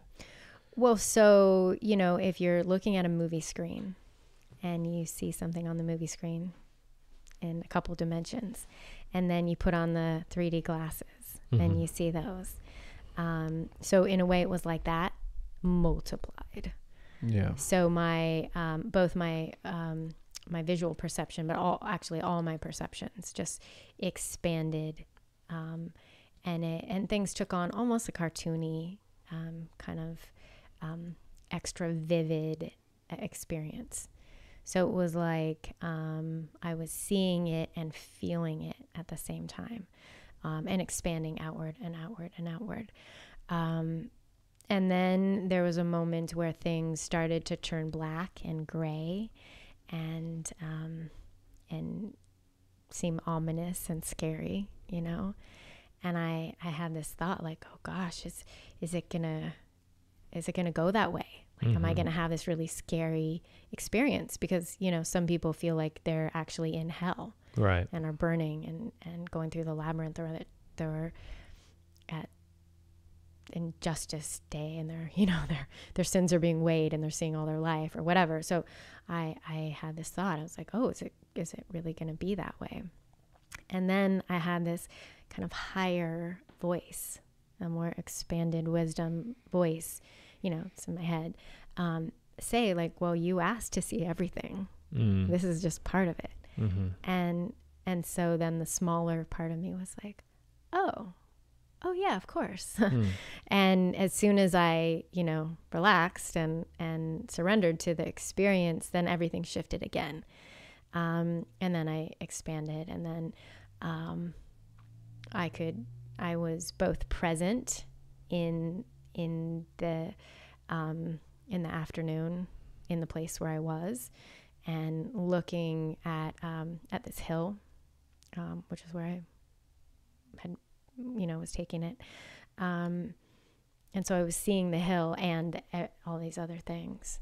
And i remained standing the whole time Hmm. and felt just so much energy kind of moving through me.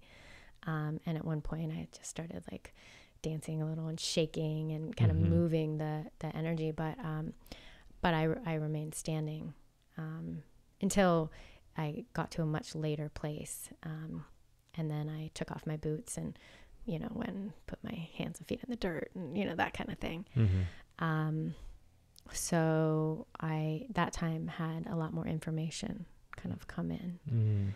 Um, and it, it, I didn't feel that level of bliss and connectedness that I felt um, in in the other experience. I did feel connected and blissful, but not that extreme level Mm. when that's all there was, Yeah. you know. Um, but it was still it was still pretty powerful, uh, and I I felt really good and solid and, and integrated when I came back. Mm-hmm. Mm-hmm. Um, I'm curious. I'm still curious about that interdimensional experience you described because I've had some interdimensional experiences too. I'm just curious if there's some overlap. Um, so did you f- you felt like you were perceiving aspects of reality that you normally that are there but that you don't normally perceive? Would you say that that's true? Yes. Yeah. And um I mean what what was there if you cuz uh, I mean for me it's more of a feeling. Like I, I I'm opening my eyes and I'm looking around and I'm still just seeing the 3D reality. It's not really like a visual. Like we're such a visual creatures normally. I think that's Mhm. that's that's our dominant sense certainly. But for me that kind of interdimensional perception is more of a feeling. It's hard to it's hard to put it into words Mm. because I don't tend to be super visual in Oh. psychedelic experiences. Mm-hmm. Um, but I had my eyes open, and so I was looking at what was there, Mm. and so it just, there was just like so much more dimension and depth and layers. Mm. Um, but it's yeah, it's hard to it's hard to put it into words and to even to speak of all the the um, the details of it. uh, Yeah. it's kind of It's very it's very elusive to language. hmm Yeah. hmm I felt like um, I felt like uh, there were, well, people talk about the veil, like beyond the veil, right? And I actually I could I felt like I was within a sphere that there were these like spheres to reality, and that the third dimension, our our normal reality, is just one sphere, Hmm. and that somehow I was able to expand Yeah. beyond that into Yeah. like I also went to the sixth, what I felt like was the sixth, s- 6D, um, interestingly. And uh, yeah, I went to four, five, and six. This was during an uh, LSD experience. And yeah, like it wasn't something that I could touch. It wasn't in my physical space, but it was in my psychic space hmm somehow. Um, Did you feel it kind of in your body as well, kind of energetically? Yes, but um I I felt like I could feel what was in my physical space as if it was my body. So I could feel the ground, I could feel other people. I could feel like not tactically, not not like it was my skin, but I could like if somebody was walking across the ground, I could feel that like, pressure. Yeah, I could Yeah. sense that. Um, and so I felt like my body was expanded in a way. hmm And yeah, that like, um, and I've actually felt too that there's this part of me, which people call the astral body, which normally is right tight on my physical body hmm and I could actually feel that body expand into the, a larger space, and there's no limit to um, how large that can expand. And maybe that accounts for these kind of universal cosmic experiences that people have. Maybe you know um, we can just expand that astral body into all of reality, so that really we are everything. We've expanded ourselves to Yeah. to be able to like perceive that somehow. Well, you know, it, it reminds me of, you know, the first experience where I just was everything and then came back into this Yeah. very separate, you know, this body, but on not just on kind of metaphysical levels, but even on basic um, scientific levels, like where we are just energy, we're, we're matter, we're electrons, and Yeah. you know, and and so we are mixing with everything. Mhm. So it seems like we're very separate, but we're actually not. Mhm. And that's that's not even uh, you know being esoteric. right, totally. Yeah, and I think that um, I mean a lot of what we're talking about is not widely accepted now, but I think that as time goes on, we're going to find, um, m- yeah, hopefully science will start to. I don't know. It doesn't even matter to me personally. Like I've had my personal experience that is convincing to me. Um, but I, I'm curious to see what science discovers, you know? mm-hmm. Like, I, I don't need that kind of like confirmation from science, but I am curious and I think it would be beneficial to, you know, humanity as a whole to kind of understand what is actually going on in some of these cases. Yeah, well, as as um, brain imaging and um, uh, other types of um, imaging and the research and the studies get um, more precise, then we may be able to learn a lot more about what's actually happening. You know, at least in our brain, and then on these subtle, more subtle levels as well. You know, when we're in these experiences. It reminds me, um, years ago there was a video that was put out. Um, Jill Bolte Taylor, do you have you seen that one? No. Um, it's called My Stroke of Insight, I think, and she was um, maybe a neuroscientist or some kind of researcher, and um, and then had a stroke, and it affected her her whole, I think, the right side of her brain.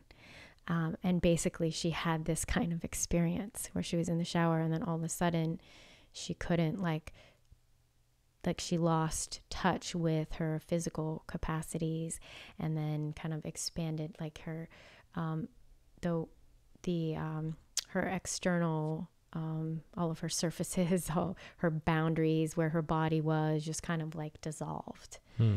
um, and she just was as well Hmm. Did she come back yeah from that? oh yeah yeah she came back Okay. um, and then gradually um, was repaired enough to go back to researching and you know and speaks about this experience it's pretty fascinating Yeah. hmm I remember a story I learned in school about um, a similar type person who, yeah, was studying the brain, and she had a she had a stroke, and she knew she was having a stroke, and she went to the phone to dial for it's help. It's the same Oh, it's the same person. Yeah. Oh, okay. Yeah, and it, it, in the story, like she, um, like the she couldn't recognize the symbols, Mhm. like just that part of her brain wasn't Yeah. working, and Yeah. um, uh, I'm not, I'm not, I can't remember how she. I think she was able to dial for help, but but maybe by like the placement of the keys and not the symbols. I can't Mhm, remember, but mhm. these symbols were just like totally foreign language to her. She couldn't understand them. right couldn't and then interpret them. gradually lost all touch with the physical Wow. Yeah. Yeah, I didn't learn about that extended part in school, but yeah if you can you know the videos up on on like youtube you can Mhm. check it out jill bolte taylor okay. So we're coming to a close. We've been talking for over two hours, believe it or not. hmm Um, is there anything that you want to speak to, just like wrapping up here, or any kind of like, um, yeah, pieces of anything we've discussed? Uh, there was one more thing that I wanted to say about the last experience that I had, and Mhm. and that that kind of higher uh, sense of knowing, Mm. um, and the the voice that kind of spoke to me was like, well, you asked for every, you know, you wanted to see it all, um, and is that afterwards, for some weeks after, um, it was like I just knew things Mm. you know and like i mean a very small example is um, i think i wanted my chapstick or something and i reached into my um, purse and just immediately found it Mm-hmm. it's like little things like that just kind of flowed Mm. more easily which is Mhm. which is really interesting Mm-hmm. um, and i felt more connected in that way Mm. Yeah, there there's some there's some kind of I don't know what to call it, but um I I had an experience where I was at I was at this big party in Maui um on this large land and there's people all over and I had lost my car key out of my pocket somehow in this huge field and I was like fuck like I'm never going to find this key. It was already dark and um I sat down and I was like, let me just try and like use my psychic powers to find it. And I just sat down and I meditated and I was like, just show me where this key is. And um, I got an image in my mind of where the key was and I walked over there and it was exactly there. And I never would have found this key. Um, and I have no, I can't explain it, but um, yeah there there's things like that that um yeah uh, maybe maybe science will tell us one day but Yeah, it's. I think you know, in some ways, it's a it's a pretty exciting time. It's like we know, you know, coming back into sort of brain science and um, the ability to track uh, where certain, say, pharmaceutical drugs impact you. mm, You know, it's like they're they're starting to be able to go into such minute detail mm, and register these little tiny changes you know and and even find like there's a, a place on your um, on your genes where in your dna where um, uh, it can show whether you're a fast or slow metabolizer you know and then knowing that then you would want to take less of something because it'll stay around in your body for longer you know mhm, or more, um, and all all kinds of things like very um, uh, just it ways that we never would have thought were possible. Um, and we know, you know, certain parts of the brain then control these um, very specific um, behaviors and functions. And then we also find out that we actually don't know hardly anything, you know, right. that yeah. there's people born who say have like no cerebellum, but they can kind of walk and move around, and you know, Mhm. um, and and maybe don't have specific areas of their brain that um, are supposed to help you, say, with your memory or you know whatever, um, and yet like that person can still function, Mm. and um, so uh, we're we know so much more, and we also know how much now we don't know.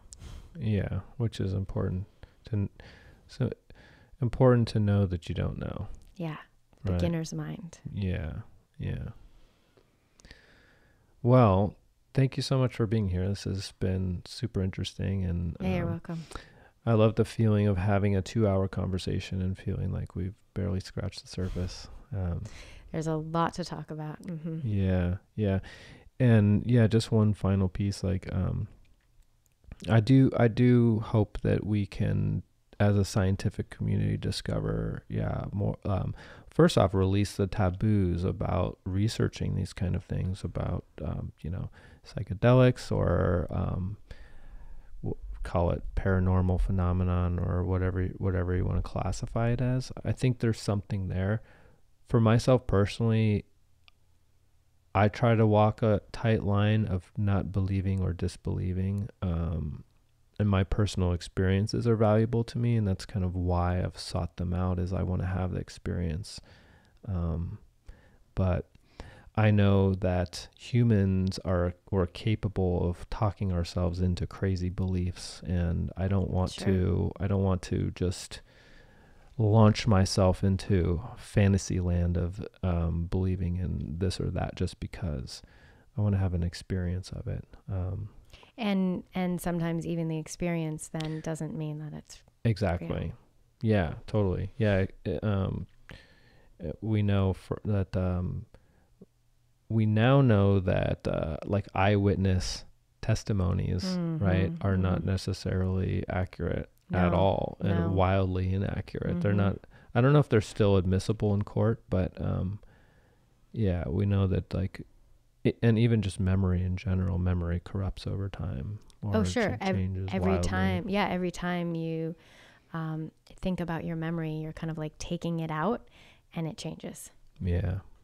So with this in mind, I, I I try to be very careful in what it is.